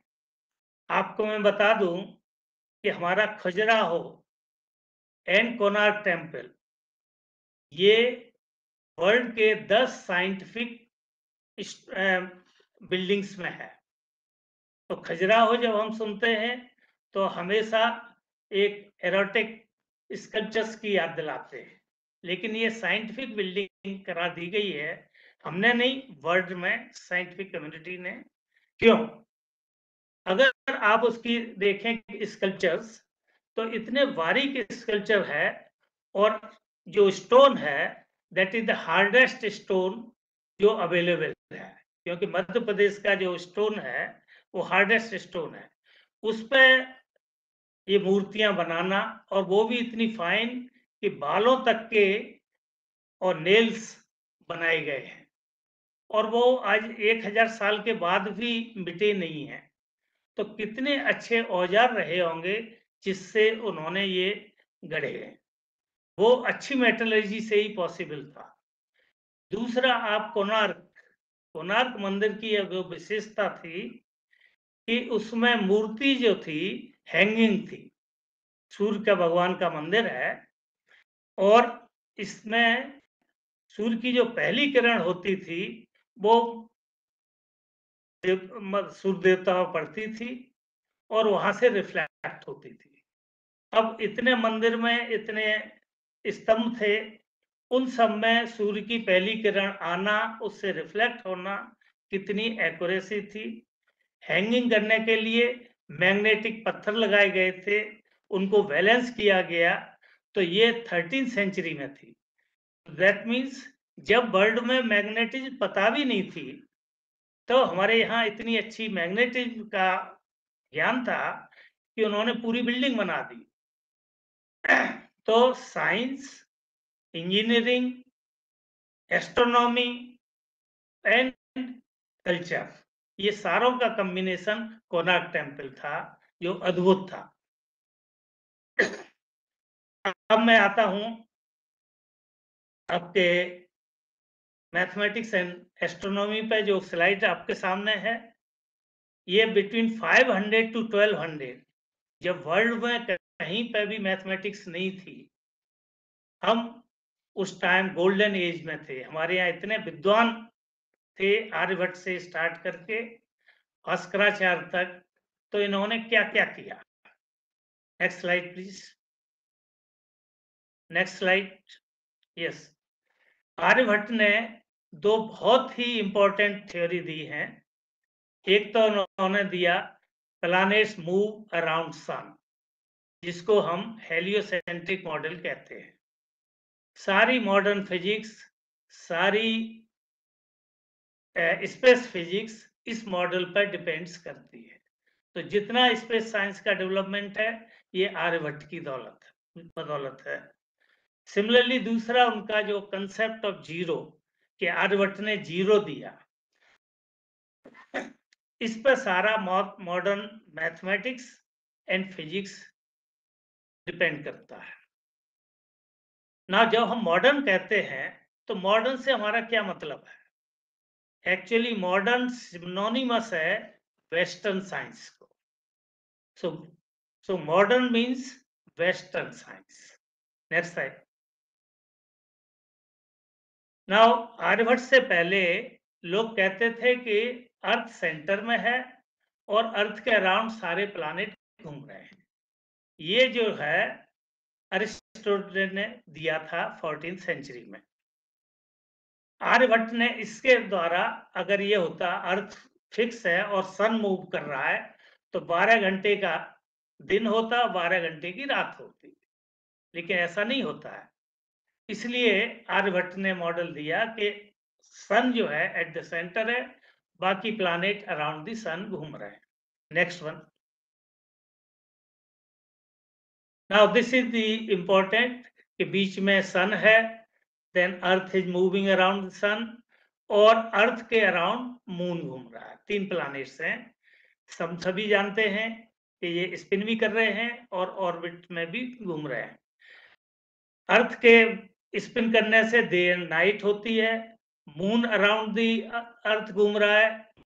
इसकी वजह से हमें महीना मिलता है, क्योंकि तीस दिन लगते हैं इसको करने में, और अर्थ अराउंड दी सन घूम रही है, इसको करने में 365 डेज़ लगते हैं, जो कि ईयर है, जिससे हमें ऋतुएँ मिलती हैं। तो ये जो तीन वो है यही चीज़ पंद्रहवीं शताब्दी में और सिक्सटीन शताब्दी में कॉपरनिकस ने कहा। तो आजकल जो बुक्स में है कॉपरनिकस का नाम आता है, आर्यभट्ट का कहीं नाम नहीं आता।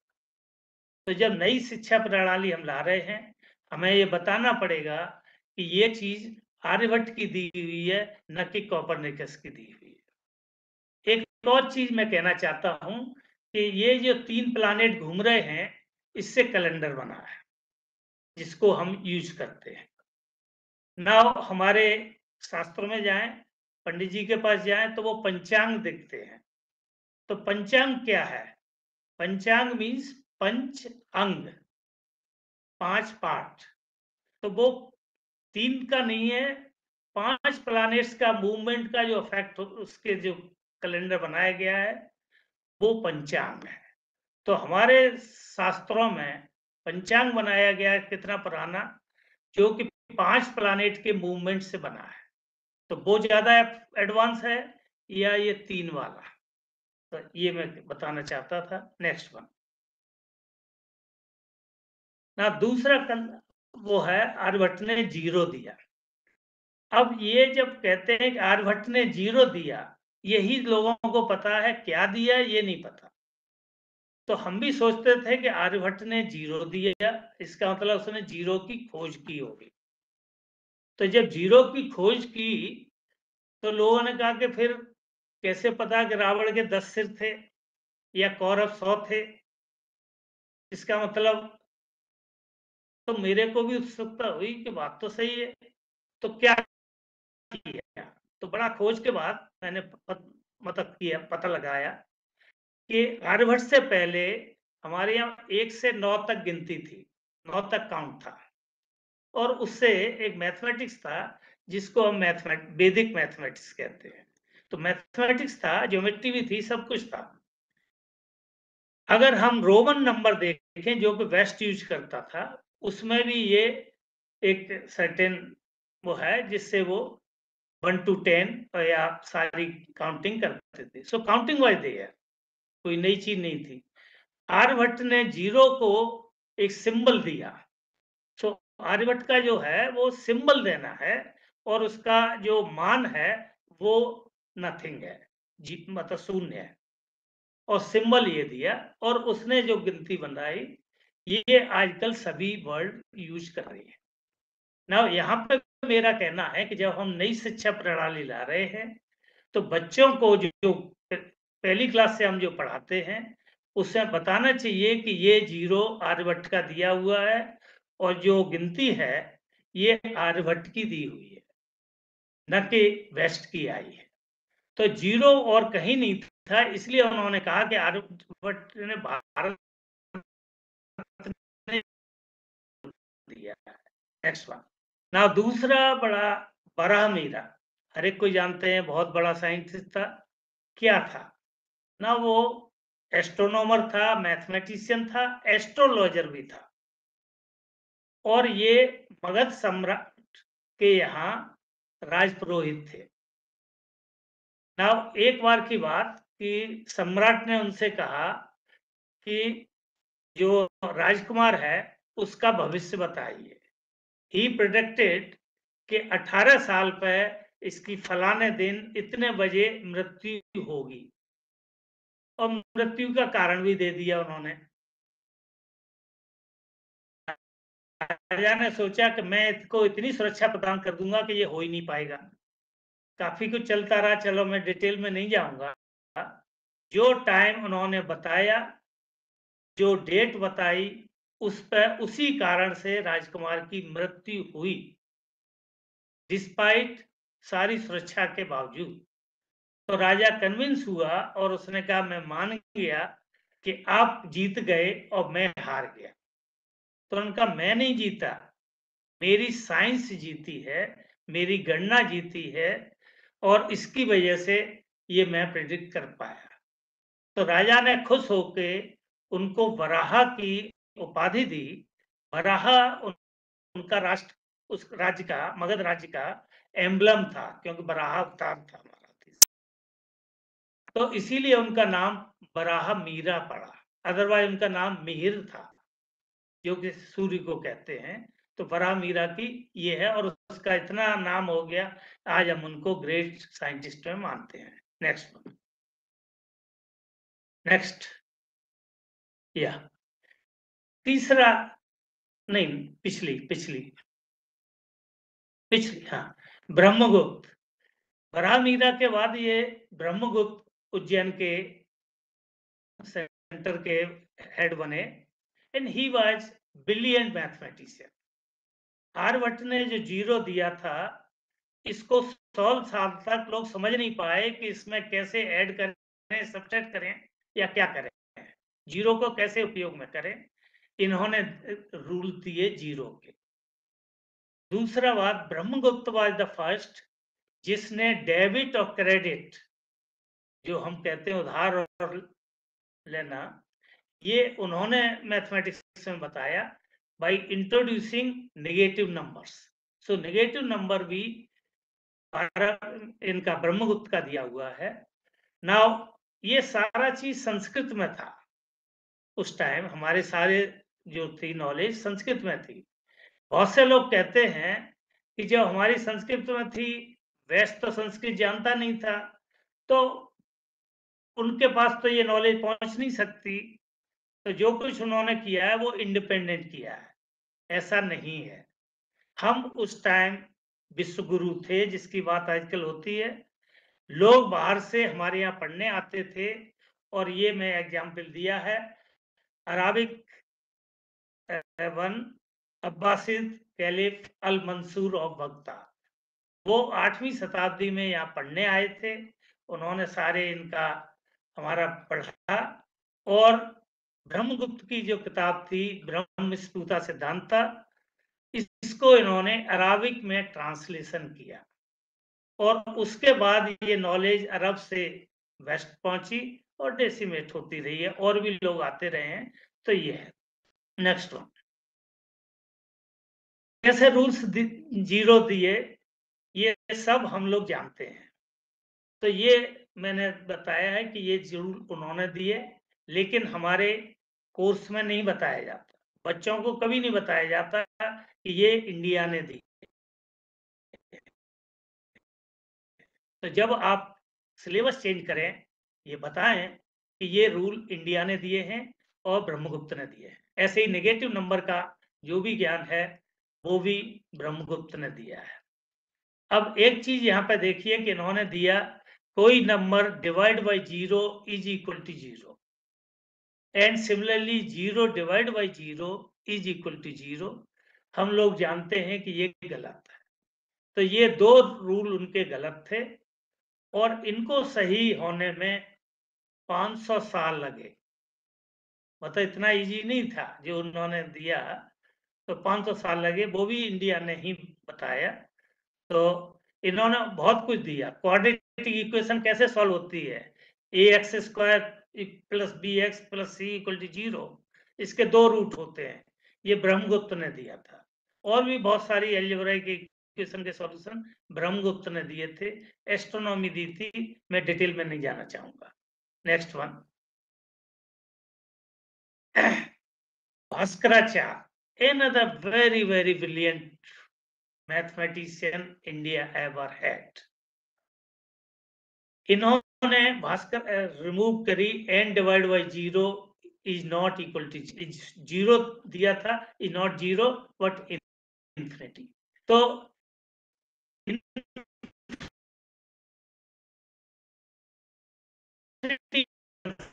वर्ड को दिया है, कहीं विदेश से नहीं आया similarly square root square root हम सब जानते हैं कि दो प्लस माइनस दो वैल्यू होती हैं। ये भी भास्कराचार्य ने बताया था। भास्कराचार्य का जो सबसे ज़बरदस्त काम था, इन्होंने चार टेक्स्ट बुक लिखी थी, जिनको सिद्धांत शिरोमणि करके कहा जाता था, और ये था लीलावती, जो अरिथमेटिक था बीज गणित एल्जबरा था, गोलाध्याय, स्फेरिकल ज्योमेट्री थी, और ग्रह गणिता, मैथमेटिक्स ऑफ़ प्लानिट्स था। मतलब ग्रहों की जो गणना थी, वो ये थी। अब ये टेक्स्ट बुक कितनी ज़बरदस्त थी, आप इससे अंदाज लगा लो कि पूरे इंडिया में 800 साल तक ये टेक्स्ट बुक के रूप में यूज़ होती थी। और इन टेक्स्ट बुक का वर्ल्ड की सारी लैंग्वेज में ट्रांसलेशन हो चुका है।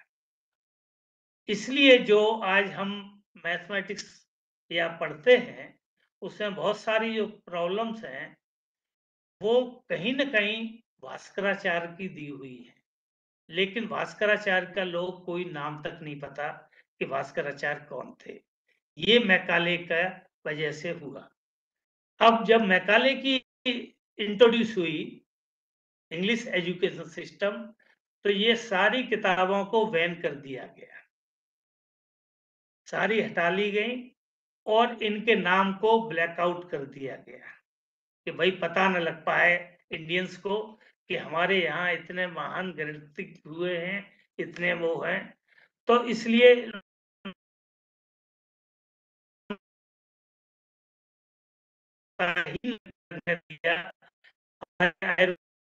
लीगल मेडिसिन प्रोसीजर है और अपना जो मेडिकल सिस्टम था, उसको इंट्रोड्यूस किया इसीलिए मुझे कई बार हँसी आती है जब हमारे डॉक्टर कहते हैं कि आयुर्वेद से पढ़े हुए आयुर्वेद वाले लोग साइंस जानते ही नहीं, इस नॉन साइंटिफिक आयुर्वेद को नॉन साइंटिफिक कहते हैं।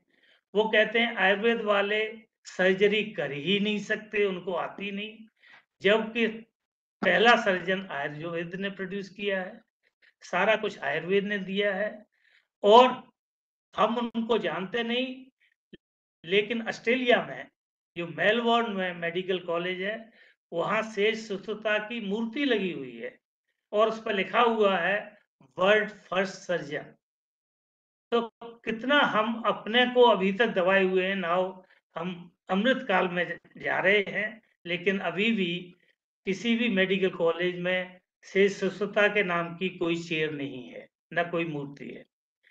तो ये टेक्स्ट बुक ब्रह्म भास्कराचार्य की बैन कर दी गई और नए आ गए और इनका नाम खत्म हो गया। नाउ, एक और चीज़ मैं बताना चाहता हूँ कि बड़ा ही प्रचारित किया गया है कि ग्रेविटी न्यूटन ने दी। उन्होंने सेब को साफ़ उनके सिर पर गिरा और न्यूटन वो ग्रेविटी की खोज कर ली। जबकि ग्रेविटी की खोज भास्कराचार्य ने दी है। उन्होंने बताया ये स्लाइड पीछे की चली गई। हाँ तो उन्होंने बताया था कैसे हमारे ये सूर्य ग्रहण, चंद्र ग्रहण होते हैं, कैसे सारे प्लैनेट्स एक दूसरे को बैलेंस करते हैं फोर्स ऑफ़ ग्रेविटेशन से। तो ये सारी दी हुई थी, लेकिन हमको पता ही नहीं है। मुझे भी नहीं मालूम था, इस यही मेरा मोटिवेशन था इसको पढ़ने के पीछे, आगे। आगे चले। नेक्स्ट Now,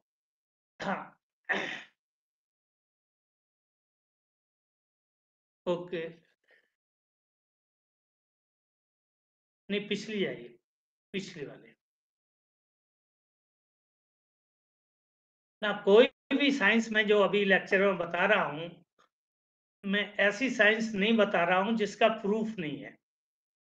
मैं सिर्फ़ प्रूफ वाली चीज़ों को ही बता रहा हूँ, क्योंकि लोग कहते हैं, नहीं साहब, ये तो था ही नहीं। तो देखिए, पहला एरोप्लेन हम सबको पढ़ाया गया कि राइट ब्रदर्स ने एरोप्लेन बनाया, जबकि ये गलत है। पहला एरोप्लेन इंडिया में बना और वो भी शिवकर बापूजी तलपड़ी ने बनाया था। कि कैसे?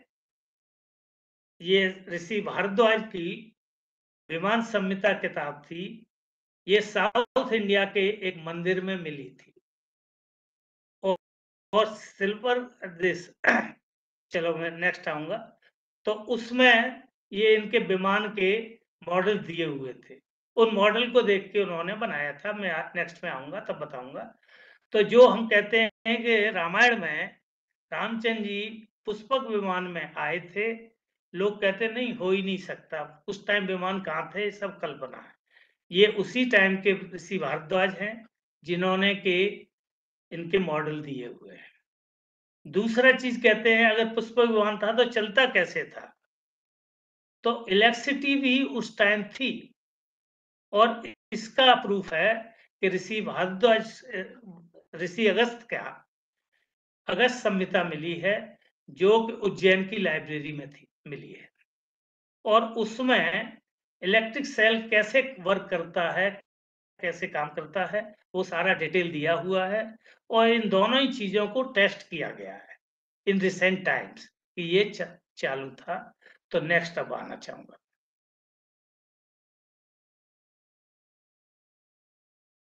या तो विवान सत्ता के आधार पर शिवकर बापूजी तलपडे ने एक मॉडल बनाया जिसको आज की भाषा में ड्रोन कह सकते हैं।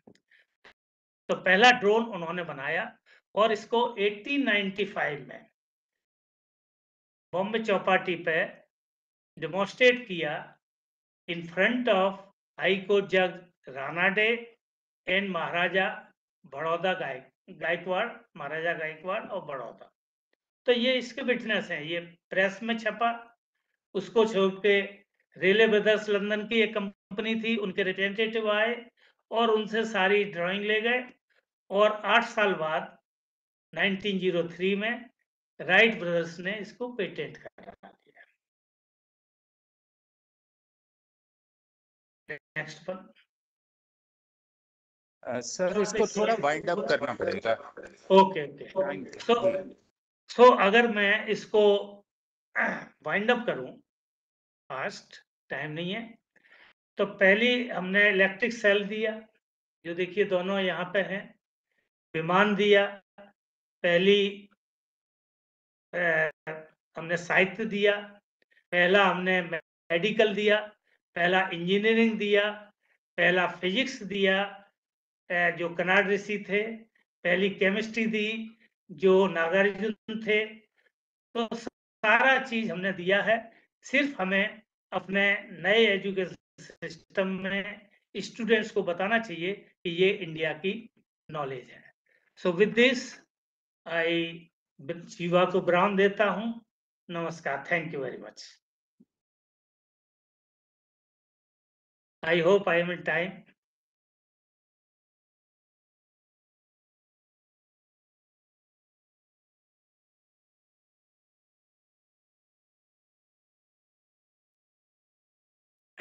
ji ji ji sir. Ji हाँ मैं सर यहाँ एक्चुअली थोड़ा सा वो टेक्नोलॉजी को मैनेज करना पड़ता है नहीं तो वो ओवरलैप कर जाती है। अच्छा, लेकिन मैं चाहता था कि आप दो तीन मिनट में हाँ। बाकी स्लाइड्स के ऊपर एक एक कमेंट कर दें क्योंकि आपने बड़ी मेहनत की हुई है इस सारे विषय के ऊपर। इसीलिए तो मैं थोड़ा एक एक मिनट लेकर के ये जो अगली स्लाइड्स हैं इसको कवर अप कर दें सर। चलिए next ji.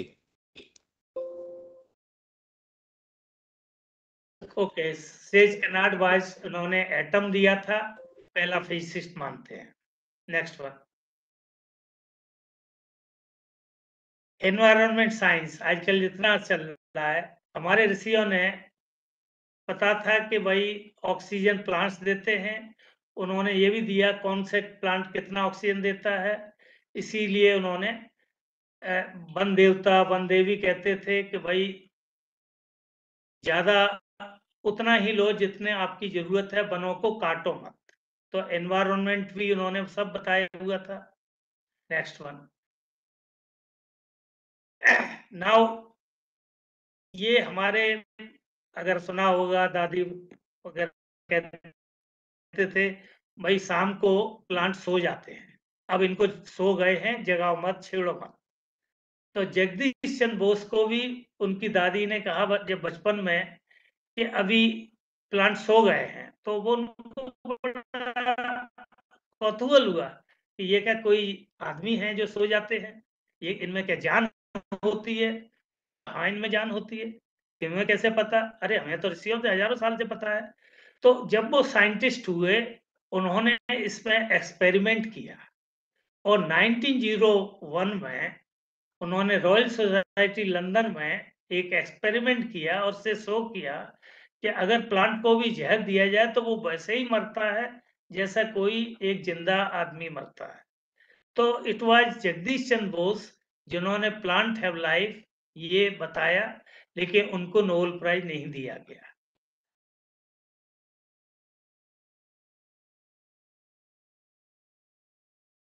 की मात, देखिए, एक इंडियन गाय है और एक वो है। मैं सिर्फ़ मेन चीज़ ही बताऊँगा इंडियन गाय के ऊपर हम्प है। और इस हम्प से एक नाड़ी निकलती है, जिसको सूर्य केतु नाड़ी कहते हैं। ये रेडिएशन से इंटरेक्ट करके और ये गोल्डन साल्ट बनाती है और उसी की वजह से देसी गाय का दूध यूरिन सभी चीज़ बहुत ही लाभकारी होते हैं और ये ऋषियों ने पहचाना था और इसीलिए इसकी पूजा करते थे। नेक्स्ट नेक्स्ट वन नेक्स्ट हाँ। और हमारे यहाँ गाय एक मिनट, हमारे यहाँ गाय की सबसे ज़्यादा दुर्दशा है। क्यों? हमको लगता है गाय बहुत कम दूध देती है, इसलिए भैंस पालो या जर्सी गाय लेके आओ बाहर से। जबकि पूरी दुनिया ने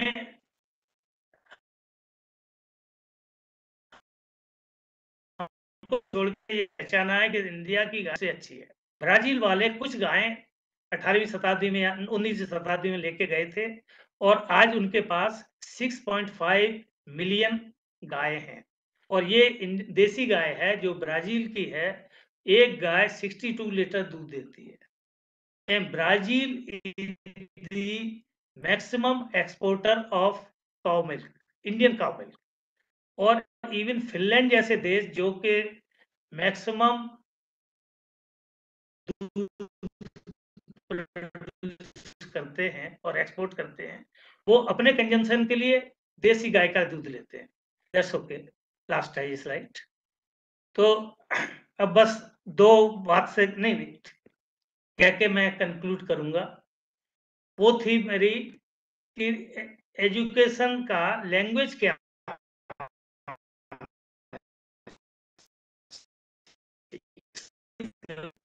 तो हम क्या कि साहब साइंस के बिना, इंग्लिश के बिना साइंस, मेडिसिन या इंजीनियरिंग की पढ़ाई हो ही नहीं सकती। आपको, दुनिया को समझने के लिए इंग्लिश पढ़ना ज़रूरी है। तो मैं आपको दो मिनट पर्सनल एक्सपीरियंस शेयर करूँगा। 1979 में मैं इटली गया। इटली एयरपोर्ट पर जब उतरे, कोई भी आदमी इंग्लिश समझने वाला नहीं था। सारे इटालियन बोल रहे थे। बड़े ही मुश्किल से रो इशारों से काम चलाया तो वहाँ कोई नहीं जानता था। पीएचडी तक उनके यहाँ फिजिक्स इटालियन में पढ़ते हैं। शहर में जब गए डॉक्टर के पास तो कोई एक भी डॉक्टर ऐसा नहीं था जो इंग्लिश समझता हो। वो या तो इटालियन बोलते थे या फ्रेंच। तो बिना इंग्लिश के ना कोई डॉक्टर को ज़रूरत ही नहीं थी। फिजिक्स वाले भी अपने पढ़ते थे, इंग्लिश वो सिर्फ़ सेकंड लैंग्वेज पढ़ते हैं। नेक्स्ट मैं जर्मनी गया वहाँ से, दो साल में जर्मनी रहा। मैं एक बार किसी से पूछा, भाई, रेलवे स्टेशन कहाँ है? उसने ऐसे करा जैसे मैंने पता नहीं क्या पूछ लिया कि रेलवे स्टेशन क्या होता है। बड़ा मुश्किल में समझाया सारों से, तब उसने अपनी भाषा में कहा अच्छा उसको।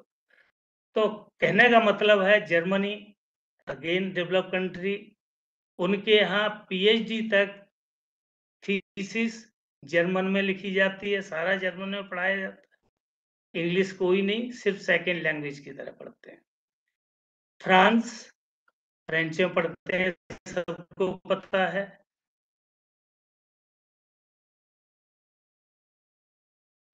स्पेन रसिया, रसियन में पढ़ता है, जापान में जापानी लैंग्वेज है, चाइना में चाइनी लैंग्वेज है।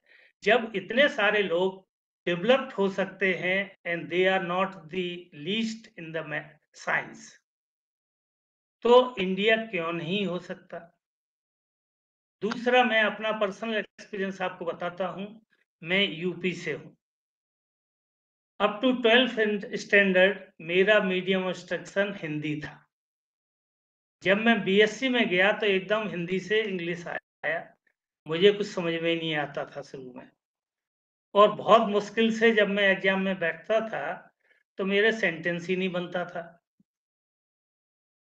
क्लास में कुछ मेरे कॉन्वेंट एजुकेटेड भी थे। जब कोई क्वेश्चन पूछना होता था तो वो सबसे पहले हाथ खड़ा करते थे। हमको लगता था कि ये बड़े इंटेलिजेंट हैं और हम तो बहुत ही हिंदी वाले हैं, पीछे रहते थे, चुपचाप रहते थे। जब एग्ज़ाम हुआ तो मेरी फ़र्स्ट डिवीज़न आई और वो सारे नीचे थे। तो ज़रूरी नहीं है कि आप कॉन्वेंट के पढ़े हुए बढ़िया साइंस जानेंगे। जब मैं एक साल में करता रुड़की में मैं गया IIT Roorkee I got second position university में। तो कोई कर सकता है। देन आई वर्क एब्रॉड मैंने ऑक्सफोर्ड में भी लेक्चर दिए, सब जगह दिए। तो लैंग्वेज आप सीख सकते हो, कभी भी जब आपको ज़रूरत हो। आपको माइंड आपकी लैंग्वेज से ही आता तो सिर्फ़ ये कहना चाहता हूँ लास्ट कि जब हम इंटरव्यू लेते हैं अपने कैंडिडेट्स का हम ज़बरदस्ती इंग्लिश बुलवाना चाहते हैं। हमारे ज़्यादातर बच्चे रूरल बैकग्राउंड से आते हैं। वो कहते हैं पहले तो हम अपनी लोग खोलो लोग तो खोल लो। सॉरी। मैडम शिखा प्लीज़ इसको ऑफ़ कीजिए। ये पूरा लोग आओगा लो, लोग खोलो इसका अंदर जान खातर। मैडम हाँ। सिंपली है कोई।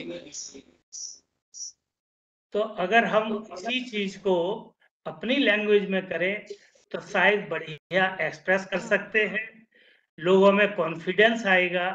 काफ़ी बच्चे सिर्फ़ इंग्लिश की वजह से जो वो जानते हैं वो भी नहीं बता पाते। तो हम अपनी लैंग्वेज से कर सकते हैं करना चाहिए। और ये जो अब प्रयत्न हो रहा है मैं इसका बहुत बहुत ज़ोर से स्वागत करता हूँ और शुभकामनाएँ देता हूँ। विदेश I thank you all once again thank you धन्यवाद बहुत बहुत आभार सर आपका। और आपने बहुत सारे जो विषयों को छुआ है और उसमें हमें इंट्रोड्यूस किया है, निश्चित रूप से उसका हमें लाभ होगा। और मैं उम्मीद करता हूँ कि और भी जो लोग हमारे साथ जुड़े हुए हैं, कहीं जहाँ भी उनको मौका लगेगा, वो इस भारतीय विज्ञान को जो है वो अग्रसर करने का प्रयास करेंगे। और जिसमें वो शिक्षित हैं उसके साथ उसको जोड़ करके उसके साथ तालमेल बिठा करके उसको और अग्रसर करेंगे।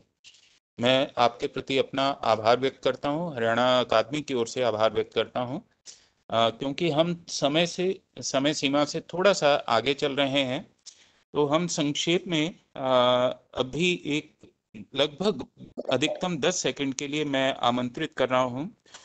डॉक्टर चंद्र कंवर भारद्वाज जी जो दिल्ली से हैं जिनकी स्लाइड आप अपने सामने देख रहे हैं कि वो हमारे साथ अपना विचार साझा करेंगे और उसके बाद ये ओपन हाउस डिस्कशन रहेगी। उसमें आप सभी लोग क्रमशः अपना अपना विचार अपने अपने प्रश्न, अपनी ओपिनियन हमारे साथ साझा कर सकते हैं। और हमारे साथ जुड़े हुए हैं डॉक्टर संजय शर्मा जी, जो कि डीन साइंसेस के हैं गौतम बुद्ध यूनिवर्सिटी से। वो इस सारी चर्चा को जो है वो कंक्लूड करेंगे लास्ट में बहुत संक्षेप में। तो मैं दस मिनट के लिए सादर आमंत्रित कर रहा हूँ डॉक्टर चंद्र कंवर भारद्वाज जी। आ, सर आप सुन रहे हैं मेरी बात? हाँ जी जी I am listening sir I am listening thank you thank you तो मैं कोशिश करूँगा टेन मिनट में सब कुछ कह पाऊँ। अभी जो आप देख रहे हैं स्पिरिचुअल लिटरेसी फॉर स्कूल इस पर हमने काम किया है और ऊपर में लिखा है scientifically corroborated Indian knowledge system तो इस विषय को मुझे बयान करना है कि सारा ब्रह्मांड एक मिनट, ये थोड़ा सा स्क्रीन से आवाज़ रिजाउंड कर रही है तो मैंने इसको कंट्रोल किया। जी। मैं यहाँ ये बताना चाहूँगा कि ये जितना भी डॉक्टर डी के चतुर्वेदी जी ने जो बयान किया है, हमारे विज्ञान की परिकाष्ठाएँ, हम लोग कितने पहले से जानते हैं, ये सब उतरा है। तो जितने भी शास्त्र हैं, वो उतरे हैं। उन सभी हमारे एंशियंट सेजेस और सीयर्स को तो यह बच्चों को क्यों ना उतरे, इस विषय पर काम किया है। और बहुत ही सुंदर विषय है। अभी विज्ञान सारे ब्रह्मांड का स्कैनिंग हुआ है। एक प्लैंक सैटेलाइट कैमरे ने सारे ब्रह्मांड का स्कैनिंग किया। तो एक बहुत सुंदर पिक्चर इमर्ज होके आया है, जो कि एक्सपांडिंग यूनिवर्स का एक सिंगल फ़ोटो है, जो प्रत्यक्ष प्रमाण आनते, जिसको देखने से पता लगता है कि सारे ब्रह्मांड में फ्लोटिंग मटेरियल बॉडीज हैं, जो कि पाँच तत्व से नहीं है हमारे। उसके अनुसार लेकिन विज्ञान के अनुसार वो 118 एलिमेंट्स हैं। और दूसरी चीज़ उसमें है गुरुत्वाकर्षण चुंबकीय क्षेत्र से जो सारा ब्रह्मांड घूम रहा है जब से बना फ्रॉम बिग बैंग और महाप्रलय तक जब खत्म होगा उस आ, उसको गणना को हमने उसको बयान किया है यूनिवर्सल माइंड की तरह से। यूनिवर्सल माइंड मीन्स उसमें इंफॉर्मेशन सिस्टम एम्बेडेड है two G, three G, six G, internet सब उसी से ऑपरेट होता है और उसमें केमिस्ट्री, फिजिक्स, मैथ सब है। ऊपर से एप्पल गिरता है तो न्यूटन स्टार्ट कैलकुलेटिंग अभी बताया कि नहीं, वो तो भारतीय ऋषि मुनियों ने ग्रेविटेशनल फील्ड्स वगैरह को जाना है। किसी ने मुझे बताया कि मुजफ्फरनगर में वो लीची गिरी थी और उसकी पुस्तक न्यूटन के उसमें उसके वहाँ पर मिली कि भाई उसने उसमें से देखा। तो किस प्रकार वो गुरुत्वाकर्षण चुंबकीय क्षेत्र से जो सारा ब्रह्मांड चल रहा है, जिसमें तीसरा लॉ भी ऑपरेट होता है every action has got action जैसी करनी, वैसी भरनी। तो उसको हमने यूनिवर्सल माइंड कह के बयान किया है। और एक पार्टिकल एंड वेव थियरी के अनुसार, जो उस टोटल फ़ी को और हर एटम को एनर्जाइज करती है ताकत, उसको रिसेंटली डबल स्लिट एक्सपेरिमेंट के द्वारा एक्सप्लेन किया गया कि पार्टिकल इंटेलिजेंटली बिहेव करता है। वो डबल स्लिट में से अपने आप को दो में विभाजित करके पास हो जाता है और कभी भी वेव बन जाता है और कभी भी पार्टिकल बन जाता है। तो इस प्रकार वह जो एब्सोल्यूट इंटेलिजेंस कैपेबल सारे ब्रह्मांड को एनर्जाइज करती है और हर एटम को भी एनर्जाइज करती है, उस टोटल ब्रह्मांड के हिस्से हम भी तो हैं। तो मेरा शरीर उस मटेरियल से बना है जो हंड्रेड एंड एलिमेंट है, जिसको हम पाँच तत्व कह देते हैं, मैंने अपना मन, ब्रह्मंडी मन से एक्वायर किया है। और मैं एक आत्मा हूँ, जो कि, जिसको हम बयान कर रहे हैं क्रिएटिव इंटेलिजेंस जो एब्सोल्यूट इंटेलिजेंस केबल फोर्स से वेव के द्वारा, नाद के द्वारा, शब्द के द्वारा जुड़ी रहती है ट्वेंटी फोर सेवन इस विषय को अगर हम समझ लें और बच्चों को ये नए ढंग से जो हम समझाने की कोशिश कर रहे हैं भारतीय ज्ञान को तो इसमें एक बहुत बड़ा इंकरेजमेंट मिलेगा कि किस प्रकार हमने तो मन एक्वायर किया और शरीर बनाया। सिंगल सेल से मनुष्य शरीर तक आए, क्योंकि सिंगल सेल कैसे बनता है? अगर लाइट एंड साउंड बिकॉज़ हम लोग प्रकाश और ध्वनि है, आत्मा के रूप में, के क्रिएटिव इंटेलिजेंस है, जो सब कुछ जानती है ऑल नोइंग ऑल प्रिवेडिंग है तो उस पर्टिकुलर ताकत के अनुसार, क्योंकि हमारे यहाँ श्लोक आया एकम बहुश्याम परमात्मा एक थे, अकेले थे और एक से अनेक हो गए। हम में से एक काल भगवान कहलाए और उन्होंने रचना की, जिसको पार्टिकल करके स्विट्जरलैंड में बयान किया कि उसमें अट्रैक्शन है और उसकी वजह से पहला एटम हाइड्रोजन बना और दो हाइड्रोजन एटम्स को अट्रैक्ट करके हीलियम बन गया। हीलियम और हाइड्रोजन को फ्यूज करके सूर्य बनाए गए। शास्त्र में लिखा है कि पहला ज्ञान सूर्य को दिया। किस प्रकार दो दो सूर्य मिलके 22 प्लेसेस पर आज वो और नए एलिमेंट्स लगातार बन रहे हैं। सभी एलिमेंट्स क्योंकि एक सूर्य कंडेंस्ड रूप में पल्सार के नाम से जाता है neutron star in the centre और उसके चारों तरफ़ एक फ्लफी सूर्य घूम रहा है, जो उसको 700 टाइम्स पर सेकंड उसको बर्न कर रहा है मिलियंस ऑफ़ डिग्रीज के द्वारा, क्योंकि उसमें से वो ऊर्जा निकल रही है, जिसको हम प्लाज्मा और हाई टेम्परेचर की जो रेज हैं, वो निकल रही हैं और वो उसको बर्न करके अदर एलिमेंट्स बना रहे हैं। तो किस प्रकार हमारी धरती बनी, किस प्रकार इस पर पानी आया, किस प्रकार जीव आया? तो मैं जीव की बात करता हूँ कि हम लाइट एंड साउंड है। If light and sound strikes on pure elements converts them into amino acids और अमीनो एसिड्स प्रोटीन्स को सिंथेसाइज करके पहला सेल बनाते हैं, जिसका नाम है अमीबा और उस सिंगल सेल से चौरासी लाख योनियों से होते हुए आपने, आपकी आत्मा ने खुद मनुष्य शरीर बनाया। अर्धनारेश्वर का पहले स्केच था हमारे पास में, कारण मन और कारण शरीर के अनुसार। और फिर हमने सूक्ष्म मन और सूक्ष्म शरीर बनाया, जिसमें सेंस परसेप्शन है और जिसमें कंप्लीट प्रोग्राम है ब्लूप्रिंट है सिंगल सेल से ह्यूमन बॉडी तक जाने का। सभी सेंस परसेप्शन उसमें डेवलप हुए। और फिर सूक्ष्म में से बाहर आके हम स्थूल बनाते हैं, हर दफ़ा। पहले सिंगल सेल बना, फिर मर गया, मन और शरीर, मन और आत्मा वापस गए, शरीर यहीं रह गया, फिर से दोबारा आए तो डबल सेल ऑर्गेनिज्म बनाया, फिर मल्टी सेल ऑर्गेनिज्म बनाया तो इस प्रकार चौरासी लाख ध्वनियों से होते हुए मनुष्य शरीर बनाया। तो मनुष्य शरीर में जब ज्ञान डेवलप हुआ, सिंधु नदी और सरस्वती के बीच में नई सभ्यता थी, जिसने बहुत बड़ा रिसर्च किया, अठासी हज़ार ऋषि मुनि योगियों को यह ज्ञान उतरा।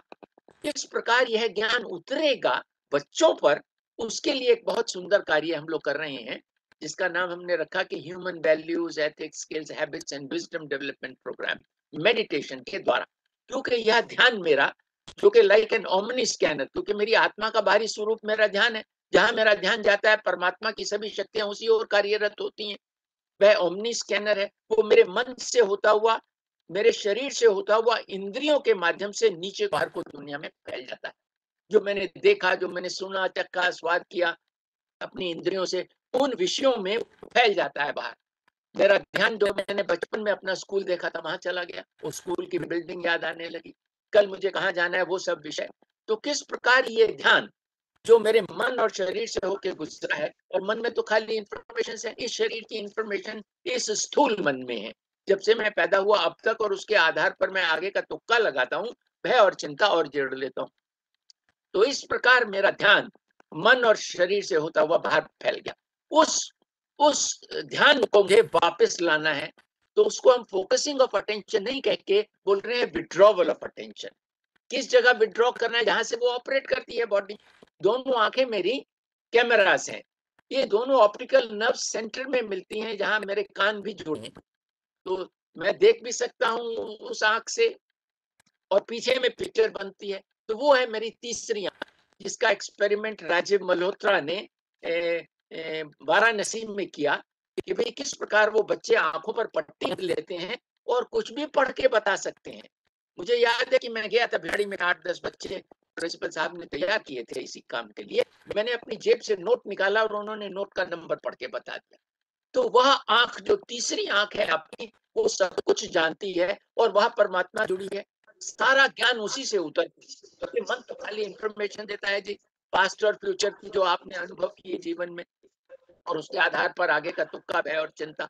तो शरीर की ज़रूरत है, भूख, कपड़ा, मकान, दुनिया के समान सेक्शन स्लीप मन डील करता है, उसकी इंफॉर्मेशन में काम, क्रोध, लोभ, मोह, अहंकार, राग, द्वेष, आगे का तुक्का लगा लिया, भय और चिंता जुड़ गई।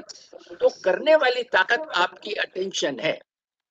अटेंशन करता है ना तो मन तो खाली इंफॉर्मेशन दे रहा है मेटेरियल खाली बॉडी है और आप पार्ट है एब्सोल्यूट इंटेलिजेंस कैपेबल फोर्स के which is all knowing all pervading तो अगर आप अपने ध्यान को उस जगह पर विड्रॉ कर लें जो आँखों के पीछे जो तीसरा नेत्र है ज्ञान का भंडार उतरने लगता है जो आपके मन और शरीर से गुजरेगा तो आपका एटीट्यूड बदल जाएँगे आपकी थिंकिंग बदल जाएगी वो डिवाइन हो जाएगी और आपके शरीर से बहेगा तो आपका बिहेवियर ठीक हो जाएगा। तो किस प्रकार ये मेडिटेशन के द्वारा हम लोगों ने ये ज्ञानम सुविज्ञानम में इस पर्टिकुलर विषय को बहुत डिटेल्स में डिस्कस किया है और किस प्रकार अटेंशन इज़ अ जिसको टेलीविज़न वाला बच्चे किस प्रकार उसमें अपने टेलीफोन में लिप्त है, क्योंकि वहाँ कोई ना कोई ऐसी चीज़ दिखा के आपके ध्यान को घसीटता है। टेलीविज़न वाला भी and he sells you a product after the break तो ध्यान इज़ ए कमोडिटी तो इस कमोडिटी को कैसे यूज़ करना है? और मैंने ये भी बात किया कि नालंदा में भटकर साहब ने जो कुछ चांसलर हैं यूनिवर्सिटी के तो अगर छोटे बच्चों को हम लोग ध्यान सिखा दें तो वो जितनी भी किताबें हमारी जली हैं, वो दोबारा से उतरेंगी उन बच्चों पर और वह फिर से लिखेंगे। तो इस विषय को किस तरह से समझाना है, किस तरह से हमने कार्य किया है मुझे लगता है कि मेरे दस मिनट ओवर हो गए होंगे और आशुतोष जी मुझे इशारा कर दें ताकि मैं अपने विषय को बंद करूँ। इतना एक्साइट है कि मैं रुक नहीं पाता हूँ कि इतना बड़ा ज्ञान है। किस प्रकार हमें इसको इस्तेमाल करना है जी? हम चाहते हैं कि आपका मैंने आपसे कहा भी था कि हम एक इंडिपेंडेंट लेक्चर जो है सेपरेट लेक्चर इस सारे विषय पे करेंगे। क्योंकि ये मेरे ध्यान में था लेकिन बीच में अभी समय नहीं हमें मिल पाया। लेकिन, निश्चित रूप से आपका ये हमारे प्लानिंग में है कि आपका एक पूरा विस्तार पूर्वक क्योंकि ये कॉन्सेप्ट एक बार में समझ में आने वाला नहीं है। और इसके जितने डायमेंशंस हैं और जितने इसके एलिमेंट्स हैं, उनको एक्सप्लेन करना वो समय उसमें चाहिए। तो आज के लिए तो इतना ही रहेगा, लेकिन जल्दी ही हम आपके साथ संपर्क करके आपका एक जो लेक्चर है, और अगर संभव होगा तो वर्कशॉप को उसकी फॉर्म में उसको हम लेंगे।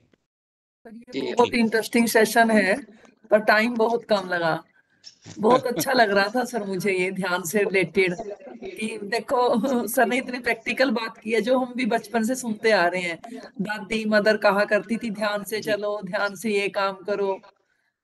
ये सारी चीज़ें स्पिरिचुअलिटी और साइंस दोनों जुड़ी है हाँ, इसके लिए पूरी एक वर्कशॉप हम लोगों ने इसको बहुत कम दिया सर आपने सर को। हाँ जी अच्छे से हम लोग इसको एक्सप्लेन करेंगे। जैसे आशुतोष जी ने बताया कि अगली दफ़ा इसको प्लान करेंगे प्रॉपर ताकि हम लोग इसको इसकी पूरी डिटेल्स को बयान कर सकें। इस प्रकार वो ज्ञान उतरेगा बच्चों वर्कशॉप जल्दी लेंगे सर तो जैसा कि आप सभी लोग इस पे देख पा रहे हैं स्क्रीन पे डॉक्टर साहब की ये एक जर्नल भी निकालते हैं स्पिरिचुअल लिटरेसी फॉर स्कूल ठीक है? ज्ञानम सुविज्ञानम के नाम से है और इसका जो लिंक है वो भी मैं आप लोगों के साथ शेयर करूँगा और आप लोग इसको सब्सक्राइब भी कर सकते हैं इस मैगजीन को।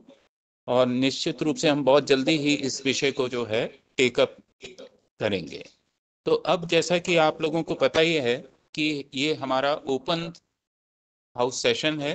और इसको कंक्लूड करने के लिए मैंने निवेदन किया है डॉक्टर संजय शर्मा जी को जो कि डीन है साइंस फैकल्टी के गौतम बुद्ध यूनिवर्सिटी में वो इसको कंक्लूड करेंगे लास्ट में।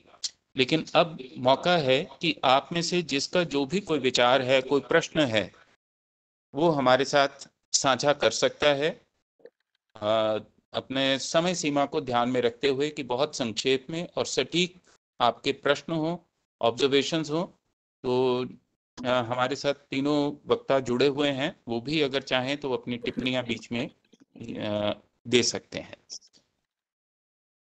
तो एनीवन आप में से जो भी अपनी बात रखना चाहता हो। हाँ, आशुतोष जी। जी सर आ, अपना परिचय दे करके सर अपनी बात रखें। आ, मैं sir R K Gupta. Retired associate professor from R K S D college Kaithal sir मेरा टिप्पणी नहीं है, केवल एक निवेदन है कि जो पुस्तकों का, ग्रंथों का संदर्भ रेजी ने दिया है अन्य वक्ताओं ने दिया, यदि उनका हमें लिंक मिल जाए तो हम उनको पढ़ने के लिए मंगवा सके। क्योंकि तीनों के ऊपर टिप्पणी करना तो संभव नहीं है। ठीक है। अब मैं तीनों वक्ताओं से निवेदन करूँगा। सर कि मुझे तो ये लग रहा था कि इन तीनों का अलग अलग ही पूरा विस्तार से होना चाहिए। जी जी बिल्कुल ठीक हो कह रहे हैं ये कहते रहे हम सुनते रहे। जी।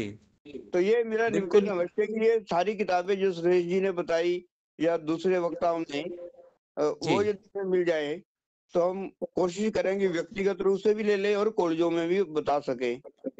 जी ये जी ज़रूर। सुधीर जी कुछ कहना चाह रहे हैं।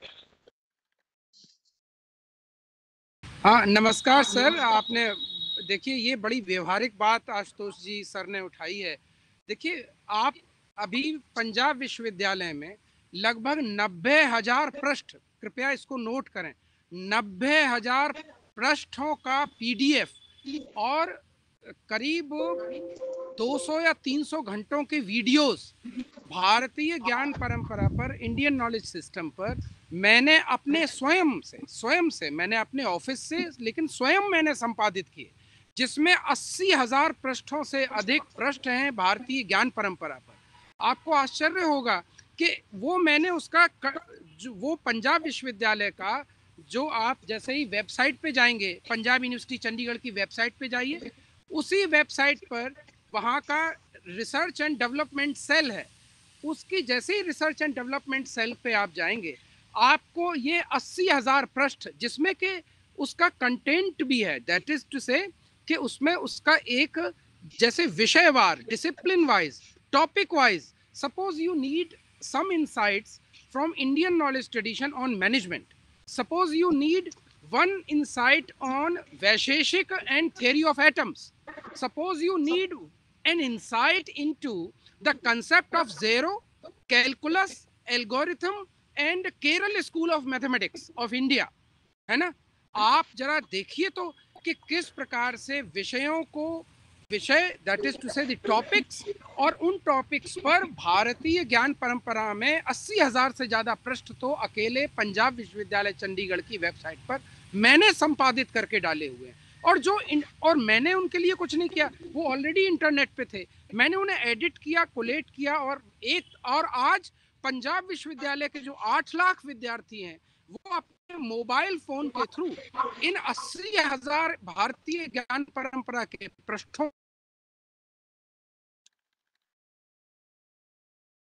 है। पंजाबी में प्रति है तेलुगु में प्रति है तमिल में प्रति है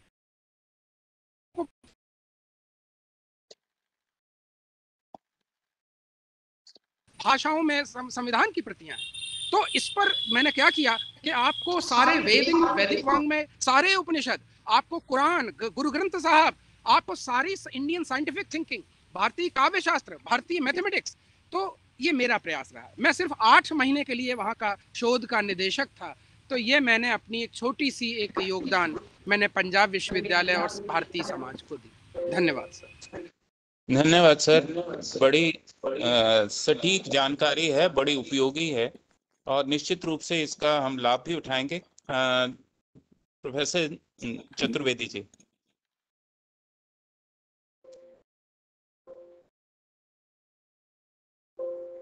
सर, अपने को अनम्यूट कीजिए।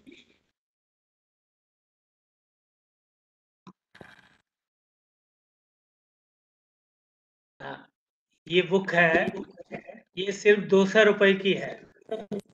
और इसको लिखने का मेरा मकसद था कि चाहे वो आर्ट्स का विद्यार्थी हो, चाहे साइंस का हो, एक इंफॉर्मेशन को जान सके। इसलिए बहुत संक्षिप्त है नॉन नॉन साइंटिफिक लैंग्वेज है, कोई पढ़ सकता है। तो मैं ये कहूँगा कि जानने के लिए क्या क्या चीज़ें थी। ये दो सौ रुपए की किताब, जो कि आपका अमेजोन पर भी अवेलेबल है आप ज़रूर पढ़ें अगर पढ़ना चाहते हो तो। इसका जी लिंक मैं ये शेयर कर दूँगा। इसको ऑनलाइन शेयर कर दूँगा आप सबके साथ। जी। अ, किसी और की कोई टिप्पणी है? और इसी दौरान मैं निवेदन करता हूँ मैडम शिखा से कि भी आप लिंक शेयर कर दीजिएगा ताकि लोग अपना सर्टिफिकेट के लिए फॉर्म भर सकें। जी सर शेयर कर दिया शुक्रिया। अ, आशुतोष जी। जी जी हाँ। डॉक्टर साहब। डॉक्टर भारद्वाज जी का एक मैं विशेष रूप से आभार व्यक्त करना चाह रहा हूँ। क्योंकि जी। जब वो अपना वक्तव्य दे रहे थे तो उन्होंने एक शहर का नाम लिया था मुजफ्फरनगर का। और मैं भी मुजफ्फरनगर में बिलोंग करता रहा हूँ। मुझे बड़ी खुशी आत्म गौरव सा महसूस हो रहा है आज। लेकिन ये अलग बात है कि मुजफ्फरनगर वालों को नहीं मालूम कि मुजफ्फरनगर में क्या हुआ था। तो हमारे साथ डॉक्टर सी डी कौशल जी जुड़े हुए हैं। संस्कृत के विशिष्ट विद्वान हैं और बहुत काम किया है उन्होंने ज्ञान परंपरा पे। और हायर एजुकेशन के साथ वो जुड़े रहे हैं तो एक संक्षिप्त टिप्पणी मैं उनसे भी अपेक्षित करता हूँ अपेक्षा।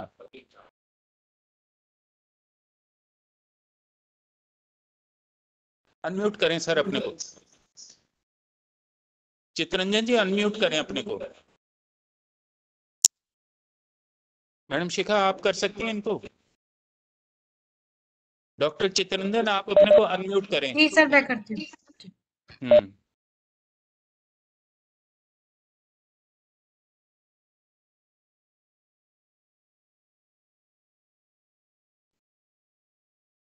चितरंजन जी सर। मुझे लगता है या तो मेरी आवाज़ अनम्यूट कर ले चित्रंजन जी। डॉक्टर साहब।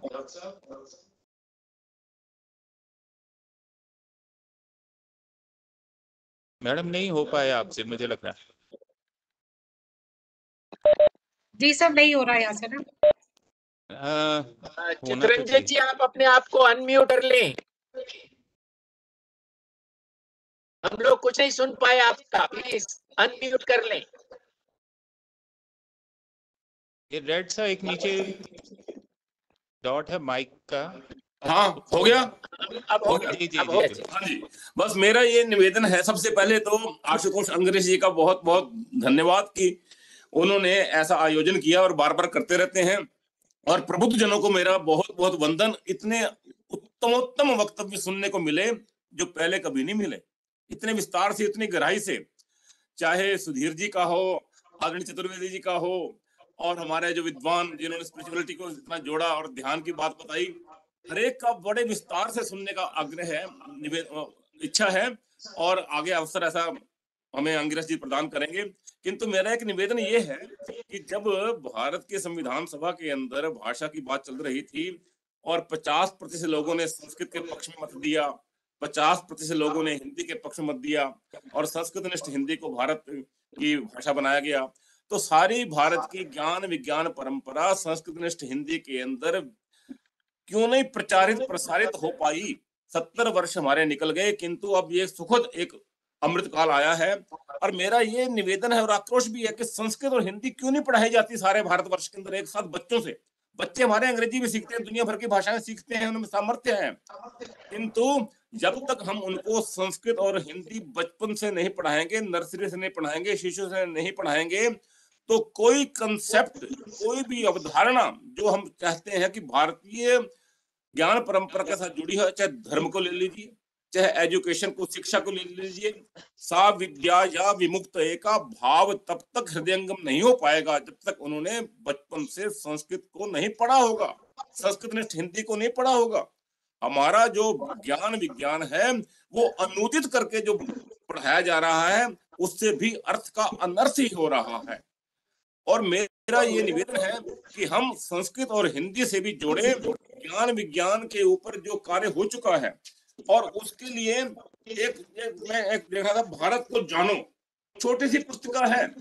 और इसके अंदर कुश्रुत चरक कनाद पतंजलि आर्यभट्ट वराह मिहिर ब्रह्मगुप्त नागार्जुन भास्कर प्रथम भास्कर द्वितीय Sawai Jai Singh Jagdish Chandra Basu PC Ray DS Wadia Srinivasa Ramanujan Chandrashekhar Venkat Raman Birbal Sahni Shishir Kumar मित्रा मेघनाथ साहा और पीसी महालन शांति स्वरूप भटनागर, सत्येंद्रनाथ बोस, और बहुत नाम दिए हुए हैं, बहुत ज्ञान विज्ञान की परंपराओं का वर्णन दिया हुआ है। किंतु ये पुस्तक केवल मात्र प्रिंट हो गई, विद्यार्थियों तक नहीं पहुँची है। तो भारत को जानो, पुस्तिका ये हर बच्चे तक शिशु से पहुँचे।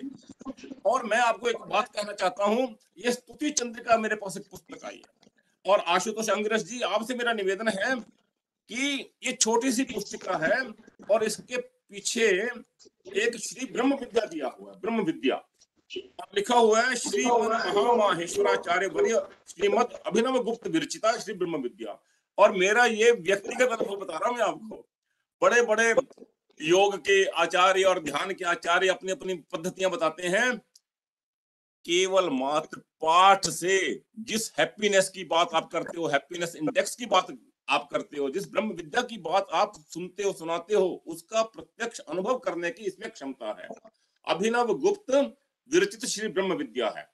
और इसके थोड़े से पृष्ठ हैं, और इसका जो वाचन है, पाठन, इसको भी क्रियात्मक रूप में कराइए आप। और मैं थोड़ा सा एक दो श्लोक बोलूँगा, बाकी मैं सबका धन्यवाद करूँगा। अथोच्यते ब्रह्म विद्या सद्य प्रत्ययदायिनी, शिव श्री भूतिराजो यामस्मभ्यम प्रत्यपादयत। सर्वेशामेव भूतानां मरणे समुपस्थिते।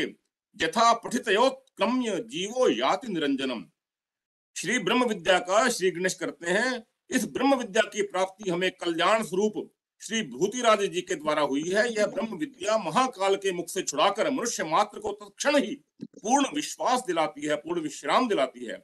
मृत्यु के समय इस ब्रह्म विद्या का पाठ करने से जीवात्मा इस देह को त्याग कर निरंजन पद को प्राप्त करता है। और मैं आपको क्या बताऊँ?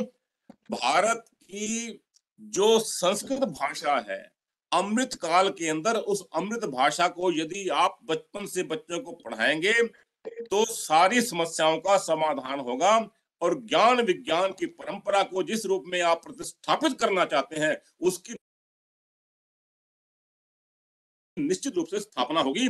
धन्यवाद। संस्कृत पठनम बाले बाले योग प्रचार गृह गृह और स्वास्थ्य शिक्षण द्वारे द्वारे धर्माचरणम जने जने। इस बार से बहुत कहने की भावनाएँ हैं। मैं वाणी को विराम देता हूँ। धन्यवाद। धन्यवाद डॉक्टर। आशुतोष जी जी जी। जी कौशल जी को एक करेक्शन कर दूँ मैं क्षमा के साथ कि संविधान सभा में जब संस्कृत भाषा पर चर्चा परिचर्चा हुई है तो मतदान में पचास पचास परसेंट नहीं था। जैसा भी था संस्कृत निष्ठ हिंदी भाषा बनी। संस्कृत निष्ठ हिंदी भाषा बनी। जितना था वो आप बताइए। वो सर पूरा डिटेल में बताना पड़ेगा। आंकड़ों के साथ मुझे वो मैं आपको भेज दूँगा।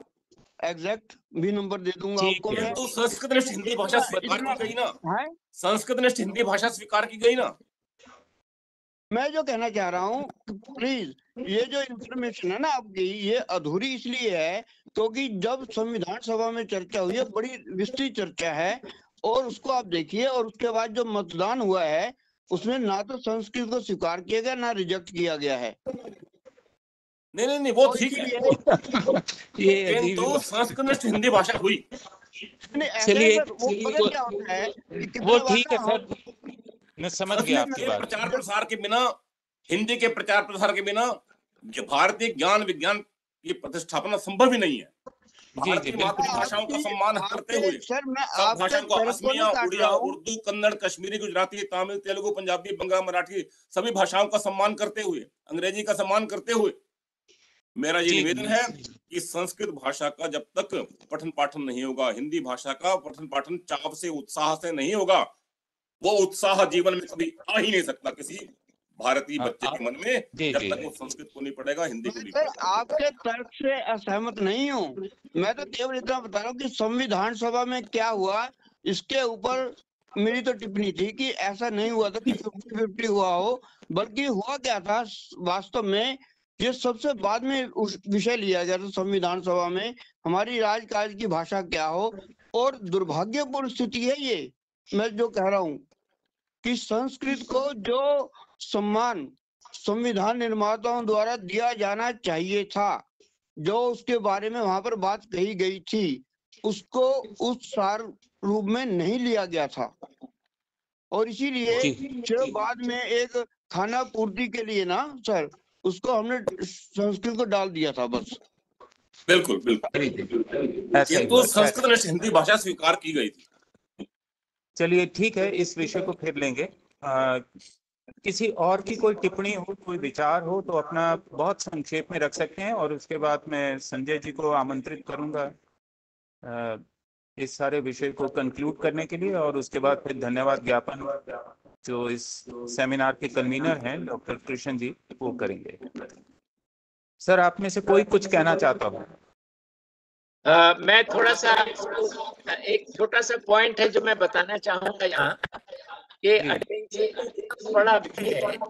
कि हमने एक एक छोटे नर्सरी क्लास से बच्चों को पढ़ाने की बात की है। बीज की कहानी। जो उस बीज में भी तीन है। एक उसका शरीर है एक उसका मन है और एक उसकी क्रिएटिव इंटेलिजेंस है। तो उसको बीज को पहले से कैसे पता है कि वो सोलर एनर्जी फोटोसिंथेसिस इस्तेमाल करेगा? मुझे सिर्फ़ ये कहना है कि जहाँ ध्यान जाएगा, ध्यान उस परमात्मा का वो पार्ट है, जो उसको रिप्रेजेंट करता है ओमनी स्कैनर है, उसको सब कुछ मालूम है। इवन उस छोटे से बीज में भी उसका जो ध्यान है, उसको मालूम है कि सोलर एनर्जी कैसे यूज़ करनी हम तो सोलर पैनल अब बना रहे हैं। वह पौधा मुड़ के बाहर निकल आता है, अगर मैं उसको ढक दूँ और नीचे में सुराख करूँ, जहाँ से सूर्य की किरण रोज जाती है तो नर्सरी क्लास से हम लोगों ने इस विषय को टेकअप किया है और मुझे है बात करेंगे। थैंक यू थैंक यू हमारे साथ एक वक्ता जो है अपना वक्तव्य हमारे साथ रखना चाहते हैं लगभग दो तीन मिनट में। Doctor Dhananjay ji political science से हैं। जी अपने को अनम्यूट करके अपनी बात रखें और उसके बाद डॉक्टर संजय जी। धन्यवाद sir good afternoon everyone I Dhananjay from department of political science S D college Ambala cantt सबसे पहले तो मैं आज के इस कार्यक्रम के आयोजन uh, के लिए हरियाणा ग्रंथ अकादमी और सनातन धर्म कॉलेज के सभी आयोजन समिति के सदस्यों का धन्यवाद करना चाहता हूँ। And special thanks to Ashutosh sir who inspired me and provide this opportunity to share my thoughts on this topic so मेरा जो टॉपिक है वो है भारतीय ज्ञान परंपरा सामाजिक जरूरतों की उपज। कैसे है ये? तो अगर इसकी बात करें तो भारत के लोगों की जो अपनी अ, परंपरा और मूल्य को बनाए रखा है भारत के लोगों ने आज भी विभिन्न संस्कृति और परंपरा के लोगों के बीच की घनिष्ठता ने ही भारत को बनाया जिसमें मानव जीवन के लिए तालमेल समाहित है। इसलिए हम कह सकते हैं कि भारतीय संस्कृति वेद की तंत्र की और योग की त्रिवेणी है। भारतीय परंपरा के अनुसार हमारे चिंतन में कई धाराएँ हैं, लेकिन पश्चिमी देशों ने केवल एक ही धारा को समझा और फैलाया है। विभिन्न ताकतों ने हमेशा से ही हमारी ज्ञान की परंपरा को दबाकर रखने की कोशिश की है।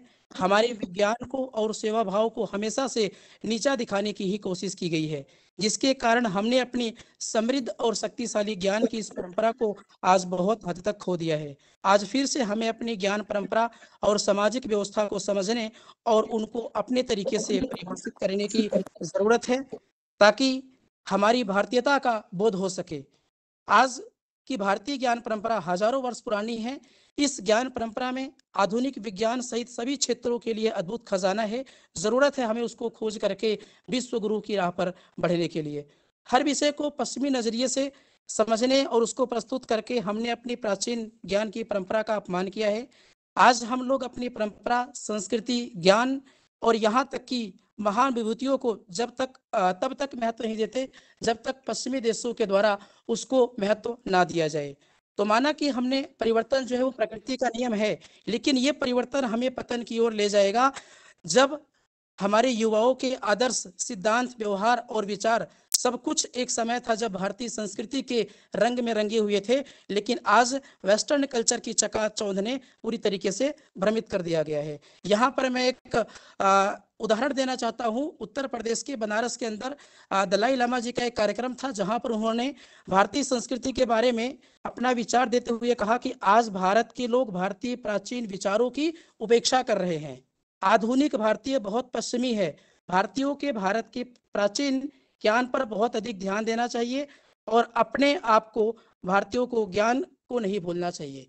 इसी के साथ ही आ, मैं धन्यवाद करना चाहता हूँ। मुझे समय देने के लिए ताकि मैं अपने विचारों को आप सभी के समक्ष प्रस्तुत कर सका। जी जी। हाँ जी sir myself doctor Krishna Kumar physics department S D college Malakanth मैं भी जो अपना आज का जो सेमिनार है जो टॉपिक है उसमें साइंस बैकग्राउंड का मतलब एक करना इसमें ऐड करना चाहता हूँ। कि देखो, हमारे जो नोबेल प्राइज पहले हुए हैं सीवी रमन के बाद मतलब उससे पहले, उसके बाद अभी नोबेल प्राइज हमारे नहीं आ रहे हैं तो उसका एक कारण यही हो सकता है कि जो मकैले की पॉलिसी है, जो एडुकेशन है, जो ज्ञान नहीं है तो हम अपने स्टूडेंट्स को जो भी है, हम एडुकेशन दे रहे हैं। हम उनको बता रहे हैं, बेटा, ये ऐसे करा, आपने ये पढ़ना है, इससे मार्क्स आ जाएँगे, इससे आपको जॉब मिल जाएगी तो उससे क्या होगा ओवरऑल डेवलपमेंट नहीं होता है। तो साइंस के हिसाब से जो हमने आज DK ji sir DK Chaturthi sir ने बताया है हमें या प्रोफेसर सुधीर जी ने बताया है कि हमारे जो वेद है वो बहुत समृद्ध है वहाँ पे बहुत ज़्यादा नॉलेज है उनके अंदर। तो हमने अपने स्टूडेंट्स को वो हमने आगे लेके आना है हमने बताना है वो चीज़ें रिटर्न फॉर्म में नहीं है। तो जो न्यू एजुकेशन पॉलिसी है इसका मेन एक कंटेंट ये भी होना चाहिए कि जो भी हम साइंस के फैक्ट्स हम बताते हैं उसमें इंडियंस का जो कंट्रीब्यूशन है उसके ऊपर एक लाइन ऐड करनी चाहिए हर जगह। तो जो भी ये हम एजुकेशन है, साइंस एजुकेशन है, ये मॉडर्न है अभी भी। तो उसमें एंशियंट हमारा क्या कंट्रीब्यूशन है? तो जो भी हमारा एक रोल है कि हमने जो भी टीचर है, कि हमने स्टूडेंट्स को इसके बारे में बताना चाहिए और हमारी बुक्स अवेलेबल होनी चाहिए बुक्स पूरी लाइब्रेरी में। एक इंफॉर्मेशन टीचर अगर उसको पढ़ेंगे, तभी वो बच्चों को बता पाएँगे। और आपको सर ये आप मेरा एक निवेदन है कि एक ऐसी बुकलेट्स फॉर्म लेके आए जो साइंस के बारे में हो जो वेदों के बारे में जो अवेलेबल जी। तो बहुत अच्छा सेमिनार रहा। हमारा एक प्रयास था कि स्टूडेंट्स को या सभी को पता लगे कि साइंस और ये जो एंशियंट है इसका कनेक्शन कितना अच्छा रहेगा। जी जी। धन्यवाद डॉक्टर कृष्ण जी। आपका सुझाव बड़ा व्यवहारिक है और निश्चित रूप से इसके ऊपर अभी आने वाले समय में जो हम वर्कशॉप करने का सोच रहे हैं और जो योजना बना रहे हैं वो लगभग कुछ इसी तरह की है। आपको बुक्स भी उपलब्ध होंगी और आप लोगों को प्रशिक्षण भी दिया जाएगा कि भारतीय ज्ञान परंपरा को प्रायोगिक रूप में इसको आप कैसे क्लासरूम तक लाएँगे।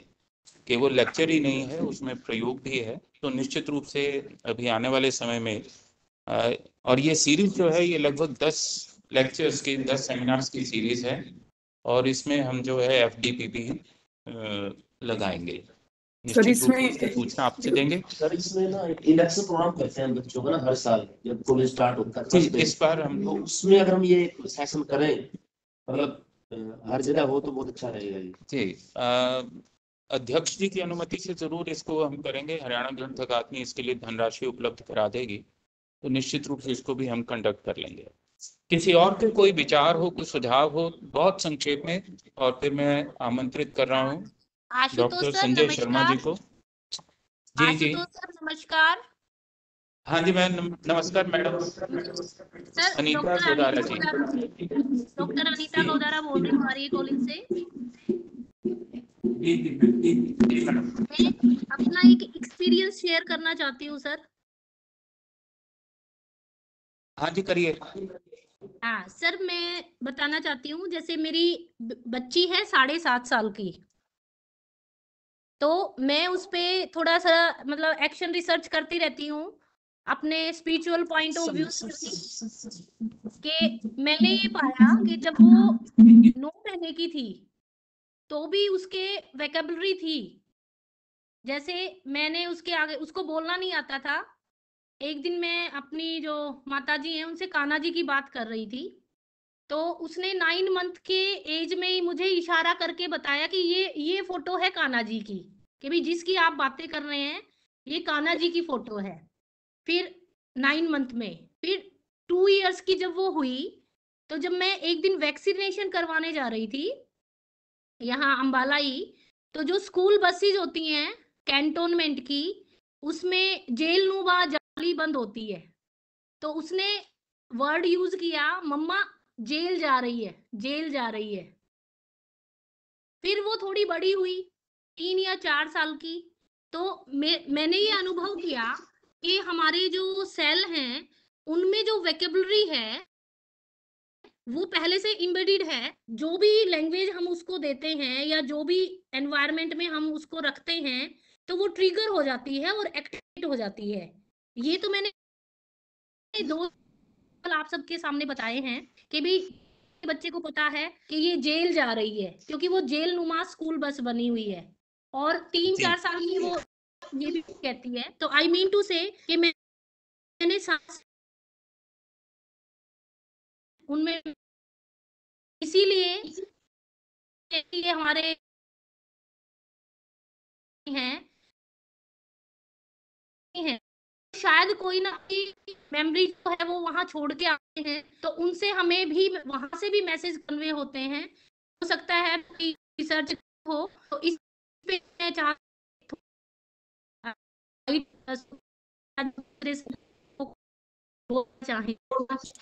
जी जी बिल्कुल ठीक है मैडम। मैं मैं इनके विषय करना चाहूँगा। बहुत ही। इम्पोर्टेंट विषय इन्होंने कहा है कि जब माता के गर्भ में जाइगोट नाम का है तो माता का एग और दोनों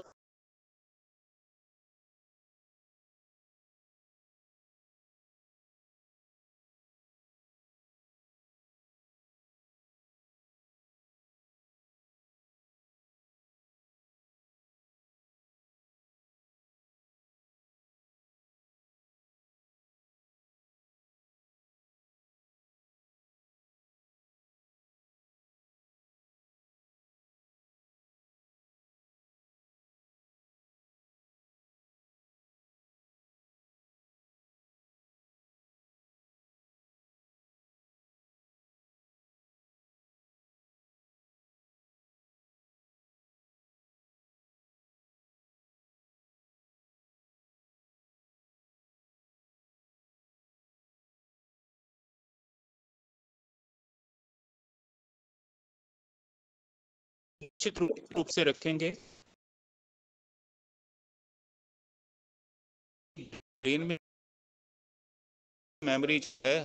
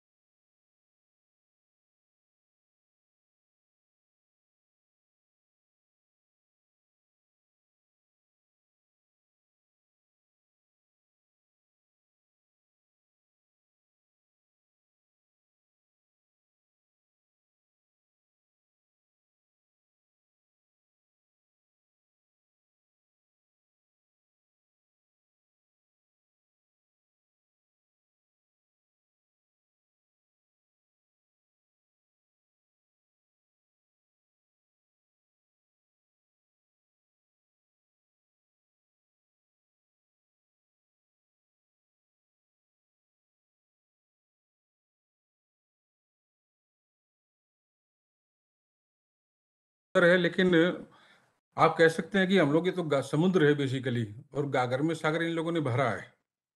हम सारे वक्ताओं के अंदर जिज्ञासा पैदा हुई, ये भी अपने आप में एक महत्वपूर्ण बात है, इसको जानने की। हालाँकि ये दुर्भाग्य है कि इतने लंबे समय के बाद हम लोगों की चूँकि देश गुलाम रहा, शिक्षा की पद्धति अलग तरीके से रही तो हम अपने ओरिजिनल शास्त्रों को कभी देख नहीं पाए, समझने की हिम्मत नहीं, पढ़ने की ज़रूरत महसूस भी नहीं हुई। क्योंकि शिक्षा एक हमारी नौकरी का संबंध तक सीमित रहा उससे ज़्यादा कुछ रहा नहीं, जबकि शिक्षा एक संस्कार है। और निश्चित रूप से जितने ग्रंथ हमारे यहाँ हैं, हमारे देश को जब दो विदेशों ने बताया कि भाई तो सपेरों का, बंदरों को नचाने वाला देश है तो उसी मानसिकता के बाद में हम अपनी हर चीज़ को, हर विज्ञान की हर चीज़ को कहते हैं कि विज्ञान की दृष्टि से जो पश्चिम से आया है, उसके, उस पे नापना तोलना चाहते हैं। हमारा अपना एक दर्शन है, अपना एक तरीका है और हमारे यहाँ किसी भी शास्त्र में, यहाँ तक कि गरुड़ पुराण सिंपल उठा के देखिए, आपके यहाँ होता है घरों में, जब आप पढ़ेंगे तो आयुर्वेद से लेके एस्ट्रोलॉजी से लेके हर चीज़ उसके अंदर विद्यमान है, जो सुनाता है। सारी चीज़ जब आप अगर वास्तव में घर में पढ़ते हैं, उसको जब कोई मृत्यु हो जाती है तो सारे विषय उसके अंदर आ जाते हैं। यानी हम लोग पूर्ण होलनेस जिसको कहते हैं ना, संपूर्णता में विश्वास रखते हैं। निश्चित रूप से हमारे ग्रंथ अलग अलग भी बने हैं और आज वो समय आ चुका है जब हम लोगों को उन ग्रंथों को अलग अलग हाँ एक विषय भी आया था कि वो ग्रंथ मिलेंगे कहाँ? पुराने ग्रंथ हैं, मौलिक ग्रंथ हैं। जैसे आपका विमान शास्त्र अपना भारद्वाज जी का है, उसमें लगभग उनहत्तर, नहीं, उनासी उनासी ग्रंथों का उल्लेख है, जो वर्णित है, लिखे हुए ऑलरेडी उसमें। लेकिन वो ग्रंथ हैं कहाँ? इसको ढूंढते ढूंढते मैं गया तो केरल और तमिलनाडु। दो स्थानों पे मैन्यूस्क्रिप्ट्स जो हैं, वहाँ पे रखी हुई हैं। लगभग एक ही विषय पे, सिर्फ़ मैं सिर्फ़ फिजिक्स की अगर बात करता हूँ कि मैं ढूंढ रहा था फिजिक्स को वैसे तो मेरे पास सारा डिटेल है, किस किस विषय में कितनी मैन्यूस्क्रिप्ट वहाँ है। कुल मिला के सात परसेंट मैन्यूस्क्रिप्ट ही ट्रांसलेट हुई है या कह लीजिए उनको बुक फॉर्म में आया है। बाकी सब रखी हुई अभी भी। यंत्र सर्वस्व में मिलते नहीं हैं, ढूंढते रहते हैं। बहुत सारी चीज़ें बताई। और एक और विषय छोटा सा था कि मैं, ये तो है ही, अपने Chitranjan ji, C D S Kaushal ji ने कुछ विषय रखा, बहुत सुंदर तरीके से रखा विषय। लेकिन मेरा प्रश्न ये था कि वो पाँच साल से भारतीय यहाँ हरियाणा हायर एजुकेशन काउंसिल से जुड़े हुए हैं लगभग, मुझे लगता है। वहाँ पे ये कर सकते थे, इस चीज़ को हरियाणा में तो कम से कम लागू करा सकते थे, बहुत सारी चीज़ें। लेकिन अभी तक नहीं हुई। कारण उसका कुछ भी रहा हो, मन के अंदर भाव रहे हो, व्यवस्था रहे हो, जब आपके पास पावर है तो करना चाहिए। जिस चीज़ को हम चाहते हैं कि ये होना चाहिए, वो होना ही चाहिए, करना चाहिए और उसको कर ले प्रयास दिखाई देने चाहिए कि हाँ ये हो रहा है, निश्चित रूप से। इतनी सारी चीज़ें भारतीय ज्ञान परंपरा में अभी हम, हमारी हिम्मत नहीं कि हम उसको परिभाषित करें। हाँ परिभाषित करेंगे तो आज के परिप्रेक्ष्य में परिभाषित कर सकते हैं। लेकिन भारतीय ज्ञान परंपरा तो इतना विशाल इतना विशाल क्षेत्र है कि आप जहाँ से शुरू कर लीजिए। मैं भारद्वाज जी को सुन रहा था कि उन्होंने जिस तरीके से बड़ी छोटी छोटी चीज़ों से शुरुआत बताई, हालाँकि ये आप मान के चले कि वर्तमान जो फिजिक्स है या वर्तमान जो विज्ञान है, ये बचपन में जो भारत का विज्ञान रहा है और जहाँ हम शुरू कर रहे हैं अब हम उस अवस्था में कि हम उसको शुरू कर रहे हैं, यानी मॉडर्न साइंस का बचपन और हमारे विज्ञान का एक किस्म से अब शुरुआत उसको समझने की कोशिश कर रहे हैं हम लोग। तो उस स्थिति में भी अभी नहीं आ पाए कि उसको समझ पाए। निश्चित रूप से संस्कृत पढ़ना अनिवार्य है। कुछ कुछ थोड़ा बहुत टूटा फूटा भी पढ़ेंगे। हालाँकि संस्कृत वाले लोग गुस्सा मान जाएँगे कि भाई ये टूटी फूटी संस्कृत सीख रहे हैं, क्योंकि उनके बड़े स्ट्रिक्ट रूल्स होते हैं। और इसीलिए वही उनके स्ट्रिक्ट रूल के मुताबिक ही वो संस्कृत आज तक ज़िंदा हो पाई, वो ग्रंथ ज़िंदा है। ठीक है? तो फिर भी हम लोगों को और जो लोग बैठे जो नहीं समझ सकते, थोड़ा बहुत कोशिश करेंगे तो शायद आगे बढ़ेंगे। भाई सुधीर ने जो पंजाब यूनिवर्सिटी चंडीगढ़ में जिन्होंने एक सेल खोली है, उस सेल में 28 पेज का एक इनका लेटर है, जिसमें इन्होंने बताया कि इतने वीडियो जो डाले हुए हैं तो शुरुआती उसके लिए वो अच्छा है, शुरुआती अंडरस्टैंडिंग के लिए कि भाई हाँ ठीक है, चलो ये चीज़ें छोटी छोटी बहुत डिटेल में बहुत गहरी चीज़ें नहीं है, लेकिन क्योंकि बहुत सारी चीज़ें तो कहते हैं कि भाई पब्लिश नहीं कर सकते हो उसमें होती कई तरीके की व्यवस्थाएँ होती हैं। लेकिन कुछ लोग कॉपीराइट एक्ट में भी कुछ सारी चीज़ें आ जाती हैं। तो कुछ चीज़ें खरीदनी पड़ेंगी। खरीदने के लिए मैं बुक्स की लिस्ट जो है, हमारे पास लगभग कह लीजिए कि पाँच हज़ार से ज़्यादा तो वेबसाइट्स हैं जो इस पर काम करती हैं। सिर्फ़ हिंदू उस पर लिटरेचर पर और अनेक चीज़ों पर इसके अलावा लगभग कई लाइब्रेरीज को मैंने ढूंढा। कोटा के अंदर है, सोलह हज़ार किताबें गवर्नमेंट की लाइब्रेरी में। मैसूर में है, ये सोरा मंसूरी में जो आपका ये आईएएस की ट्रेनिंग का सेंटर है, वहाँ पे हैं। अनेक स्थानों पे फैली पड़ी हैं। मैन्यूस्क्रिप्ट हैं, लेकिन उनका ट्रांसलेशन भी मैक्सिमम जगह या ट्रांसलेशन के लिए या उनको उस फॉर्मेट में नहीं लाया गया कि वो रीडेबल हो, बहुत सारी चीज़ें। अमेरिकन के पास बहुत ज़्यादा है और जो अपने भाई मुजफ्फरनगर वाले थे, गुप्ता जी, उनके पास एक गाँव है कांदला कांदला एक जगह छोटा शहर है। वहाँ के हुए एक धर्मपाल माँ से धर्मपाल जी ने महात्मा गांधी जी के परम शिष्य थे, अभी 2006 में शरीर छोड़ा उन्होंने। पाँच वॉल्यूम्स लिखे अलग अलग चीज़ ब्यूटीफुल ट्री, एजुकेशन भी लिखा, एक वॉल्यूम पूरा पूरा। इस तरीके से ancient Indian science and technology. लेकिन उनको प्रश्न, हमेशा लोग ये पूछते थे कि भाई, आप लोग विज्ञान की बातें करते हो, हमारे पास है। क्या प्रमाण है आपके पास? उस चक्कर में वो विदेशों में गए, इंग्लैंड में गए, कई स्थानों पे गए, अध्ययन किया, शास्त्र पढ़े, और उसके बाद उन्होंने करीबन चार पाँच हज़ार पेज की पुस्तक है एंशेंट टेक्नोलॉजी इंडियन टेक्नोलॉजी पे लिखी हुई है। बहुत सारी चीज़ें अवेलेबल हैं। कुछ मैं डॉक्टर साहब को शेयर कर दूँगा इसी ग्रुप पे। लिस्ट भी शेयर कर दूँगा। बुक्स मैंने अभी दो तीन दिन पहले निकाली थी तो डेढ़ सौ बुक्स जो हमारी एंशियंट टेक्नोलॉजीज़ पे। लेकिन आज वो समय कि हमें सिर्फ़ छोटी छोटी चीज़ों को नहीं एक एक विषय बना के उनको रखना पड़ेगा। कुछ जगह पे ये कोर्सेज शुरू हो गए हैं, जैसे आपका Indian traditional system, Indian traditional knowledge system पे कुछ कोर्सेज, सर्टिफिकेट कोर्सेज शुरू किए कुछ जगह पे। तो वहाँ क्या होता है प्राइमरीली हम लोगों को एक समझ शुरू होती है कि हमारे कौन कौन सी चीज़ें किस तरीके से वर्गीकरण किया हुआ है, शास्त्रों का क्या क्या चीज़ें हैं। अब उसके बाद उन विषय को, उस विषय को विषय अनुसार करना पड़ेगा अब हमें। आगे फिर वर्गीकरण करना पड़ेगा, क्योंकि हम लोग तो जिस सिस्टम में है, वो वर्गीकरण के सिस्टम में सारे सारे में, भाई ये रसायन विज्ञान है, ये भौतिक विज्ञान है, ये है। फिर उनके भी आगे उप विषय बनाने पड़ेंगे।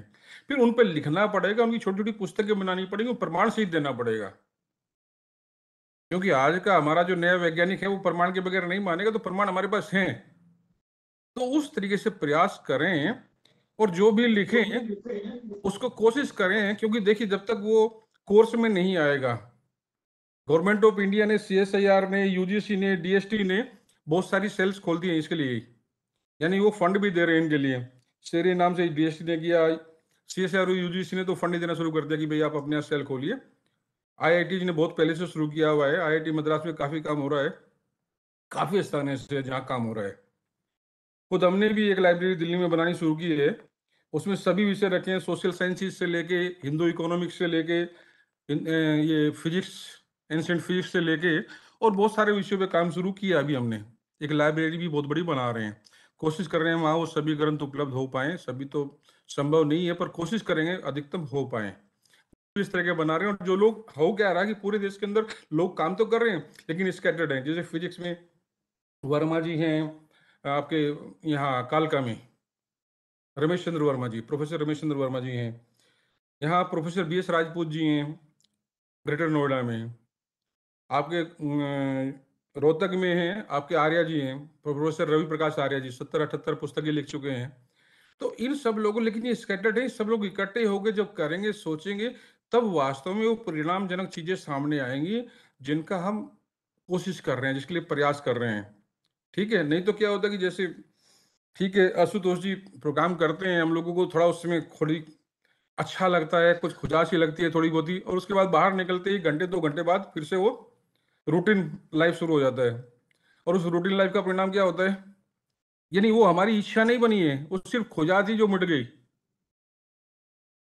उसको परमानेंट बनाए, काम करे, रात दिन काम करे, निस्वार्थ काम करें। इससे मुझे क्या मिलेगा, ये भाव लेके चलोगे तो शायद नहीं होगा। और भी कुछ नहीं, देश के लिए क्या करें? देश के लिए करें और कुछ नहीं तो अपने लिए नहीं छोड़िए देश के लिए करें। ऐसा भाव लेकर जब करेंगे तो निश्चित रूप से एक परिणाम आएगा और उस परिणाम का हम सब लोग जिस सुखद अनुभव की कल्पना कर रहे हैं, वो होगा। शायद मैं कुछ ज़्यादा बोल गया हूँ मुझे माफ़ करेंगे। और बहुत बहुत धन्यवाद आप सब लोगों का मुझे मौका देने के लिए। धन्यवाद, डॉक्टर संजय जी। और आपने जो बहुत सूचनाएँ हमें दी हैं, और जितना हमें आपने ये दृष्टिकोण दिया है कि इतना काम हुआ है, इतने मैन्युस्क्रिप्ट्स अवेलेबल हैं, इससे हमारी दृष्टि में व्यापकता आई है। उसके लिए आपका धन्यवाद और आपको साधुवाद। और कार्यक्रम को अब पूर्णता की ओर अग्रसर करते हुए मैं आमंत्रित कर रहा हूँ। इस संगोष्ठी के जो कन्वीनर हैं, समन्वयक हैं, डॉक्टर कृष्ण जी, कृष्ण कुमार जी, जो कि फिजिक्स डिपार्टमेंट से हैं, हमारे ही कॉलेज से। तो मैं उनसे निवेदन करूँगा कि वो हरियाणा ग्रंथ अकादमी और बाकी जितने भी हमारे कॉलेजेस जुड़े हुए हैं उन सब की ओर से सभी प्रतिभागियों का धन्यवाद ज्ञापन करें। थैंक यू मैं ये लिस्ट अभी डाल रहा हूँ जी पुस्तक भी जहाँ जहाँ हमारा रिकॉर्ड हुआ है सारी चीज़ें आपके इसी ग्रुप पे तो वो लोग देख लेंगे जहाँ जहाँ। मैं सर इस सेमिनार का आयोजन करने के लिए सबसे पहले हमारे जो कॉलेज के प्रिंसिपल हैं डॉक्टर राजेंद्र सिंह, मैनेजमेंट है और हरियाणा ग्रंथ अकादमी के डायरेक्टर हैं प्रोफेसर रविंद्र चौहान, प्रोफेसर आशुतोष आंगिरस और जितने भी कॉलेजेस हैं जिन्होंने हमारे साथ पार्टिसिपेट किया है ऑर्गेनाइज करने में। ये बहुत ही एक अत्यंत महत्वपूर्ण महत्वपूर्ण विषय है जो हमने अपने स्टूडेंट्स तक पहुंचाना है जिसको। क्योंकि हमारे जो भारतीय ज्ञान परंपरा है बहुत अच्छी रही है, लेकिन धीरे धीरे ये जो मैकेली की जो इंग्लिश ये कहेंगे एजुकेशन पॉलिसी थी उसने हमारे जो परंपराएँ है या वो है उनको धीरे धीरे खत्म कर दिया है। और हम जस्ट एक प्रोफेशनलिज्म की तरफ़ से के, के तरीके से हम एजुकेशन दे रहे हैं। तो इसलिए ये जो सेमिनार है इसमें हमने बहुत अच्छा मतलब एक विषय रखा हुआ है। उसमें हमारे जो स्पीकर हैं professor Sudhir Kumar ji from Punjab university Chandigarh उन्होंने बताया कि हमारे जो वेद वेद हैं, उनमें जो ज्ञान भरा हुआ है, उनको हमने आम जन की भाषा में बदल के अच्छी अच्छी बातों को जन जन तक पहुंचाना है। ऐसे ही हमारे जो डॉक्टर डी के चतुर्वेदी हैं, हम, मेरे गुरुजी रहे हैं वो फिजिक्स डिपार्टमेंट में, उन्होंने जो साइंटिफिक फैक्ट्स दिए हैं, जो फोर्टीन हंड्रेड, फोर हंड्रेड या फाइव हंड्रेड एटी में आर्यभट्ट ने ज़ीरो का इन्वेंशन किया या हेलियोसेंट्रिक मॉडल जो भी ये मॉडल जो हमें पता है हमें अभी ये पता है कि जो वेस्टर्न वर्ल्ड ने दिए हैं तो इसको हमने बच्चों तक पहुंचाना है कि ये चीज़ें पहले ही ऑलरेडी एग्जिस्ट करती हैं। तो ऐसे जो चीज़ें हैं वो हमें बताना है सभी को। तो इसलिए मैं अपनी तरफ़ से ऑर्गेनाइजिंग कमेटी की तरफ़ से सभी पार्टिसिपेंट्स का सभी स्टूडेंट्स का हार्दिक धन्यवाद करता हूँ। और आशा करता हूँ कि हम आगे भी ऐसे जो सेमिनार्स हैं या वर्कशॉप हैं इनको ऑर्गेनाइज करेंगे और जो ये विषय हमने लिया है इसको हम आगे तक लेके जाएँगे। थैंक यू सर धन्यवाद डॉक्टर कृष्ण जी। आ, और अपनी ओर से भी उन्होंने तो इस कन्वीनर होने के नाते उन्होंने आप सभी का आभार व्यक्त किया है। लेकिन मैं अपने अपनी ओर से आप सबका आभार व्यक्त करता हूँ। आप लोगों ने समय दिया हमें। और हमारा ज्ञान वर्धन किया, हमें दिशा निर्देश दिए हैं और हमारी दृष्टि का जो विकास किया है, उसके लिए हम जितना भी आपका आभार व्यक्त करें, वो कम ही होगा। और मैं आप लोगों को ये सूचित करना चाहूँगा कि ये भाग एक पहला है ये पार्ट वन है इस सीरीज़ का, इसको अभी हम और टेकअप करेंगे और इसी के दौरान हमारी कोशिश रहेगी कि इसके ऊपर हम एक कार्यशाला जो है उसको आयोजित कर सकें और उसमें हम प्रशिक्षण दें कि किस तरह से इन विषयों को पढ़ाया जाए और इसके लिए पुस्तक निर्माण किस तरह से करना है। उस विषय पे हम जल्दी ही एक कार्यशाला भी आयोजित करेंगे और उसमें आप सभी का हमें सहयोग अपेक्षित है। और जैसा कि डॉक्टर चंद्र कुंवर भारद्वाज जी ने हमें अपने विषय के बारे में बताया है, जिस ओर हमारा ध्यान ज़्यादा नहीं था तो उनके साथ मैं निश्चित रूप से एक वेबिनार जो है फुल प्लेज उन्हीं के लेक्चर के ऊपर उसको हम टेकअप करेंगे जल्दी ही और ताकि हमें सबको ये पता लगे कि इस सारे विषय को हम स्कूल तक कैसे लेके जाएँ स्कूल में ओरिएंटेशन कैसे उसमें की जाए। और अभी अभी आ, मेरे ध्यान में प्राचार्य महोदय डॉक्टर प्रमोद वाजपेयी जी जो महाराजा अग्रसेन कॉलेज जगाधरी हैं, वो हमारे साथ जुड़े हैं। उनका स्वागत भी है, धन्यवाद भी है, और वो हमारे सह संयोजक भी हैं इस सारे कार्यक्रम में। और बहुत संभावना है कि अगला कार्यक्रम जो है, इसकी अगली श्रृंखला, अगला जो कड़ी है, पार्ट टू या पार्ट थ्री, वो उनके कॉलेज में होगा। तो निश्चित रूप से उनके दो शब्दों के साथ मैं चाहूँगा कि आज का कार्यक्रम हम पूर्ण करें। और जिन लोगों ने फॉर्म भर लिया है वो तो ठीक है जिन्होंने नहीं भरा वो मैडम शिखा एक बार दोबारा आप शेयर कर दीजिए। डॉक्टर वाजपेयी जी के कुछ शब्दों के बाद हम इसको यहीं पे पूर्ण करेंगे। जी सर अपने को अनम्यूट कर लीजिए।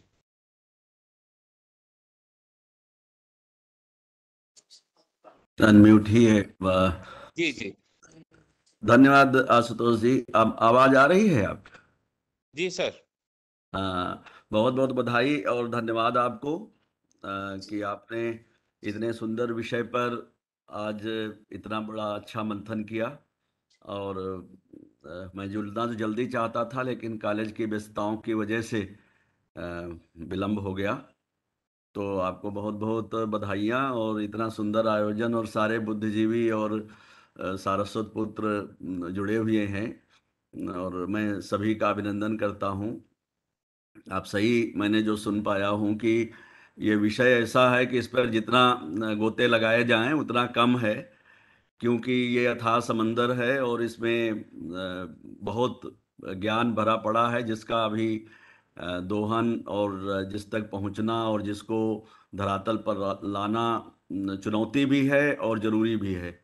तो ये कई कार्यक्रम इसके लिए लगातार करने पड़ेंगे और आपके और ग्रंथ अकादमी के और बाकी बुद्धिजीवियों के सहयोग से, मदद से ये कार्यक्रम निरंतर यूँ ही चलता रहे। मेरी समझ से मुझे विषय पर कोई ज़्यादा भी मैं नहीं जान पाया हूँ कि क्या है तो मैं उसके लिए अपने को रिज़र्व रखता हूँ और आपको पुनः बधाई देने के साथ अपनी वाणी को भी नाम देता हूँ। धन्यवाद। धन्यवाद, सर। जल्दी ही मैं चाहूँगा और आपसे निवेदन ही करूँगा कि अगला जो इसका सेकंड या थर्ड पार्ट है मोस्ट प्रॉब्ली मैं चाहूँगा कि अगर आप उसके लिए अपनी सहमति दें तो उसको हम आपके कॉलेज में इसको कर लेंगे। सर पूरी सहमति है मेरी और मैंने चौहान साहब से बात भी की थी अपने कहा कार्यक्रम करिए शायद लेकिन वो विषय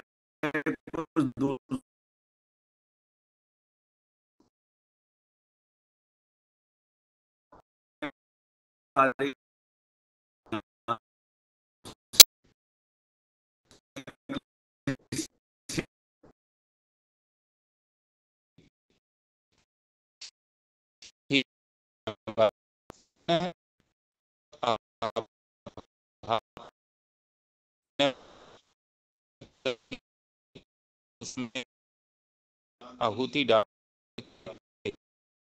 पुरुष को उत्पन्न करने का प्रयास करेंगे और ताकि हमारी जो ज्ञान व्यवस्था है है, वो सुप्रतिष्ठित हो और प्रभावी हो। इन्हीं शब्दों के साथ धन्यवाद। आप लोग मीटिंग छोड़ सकते हैं।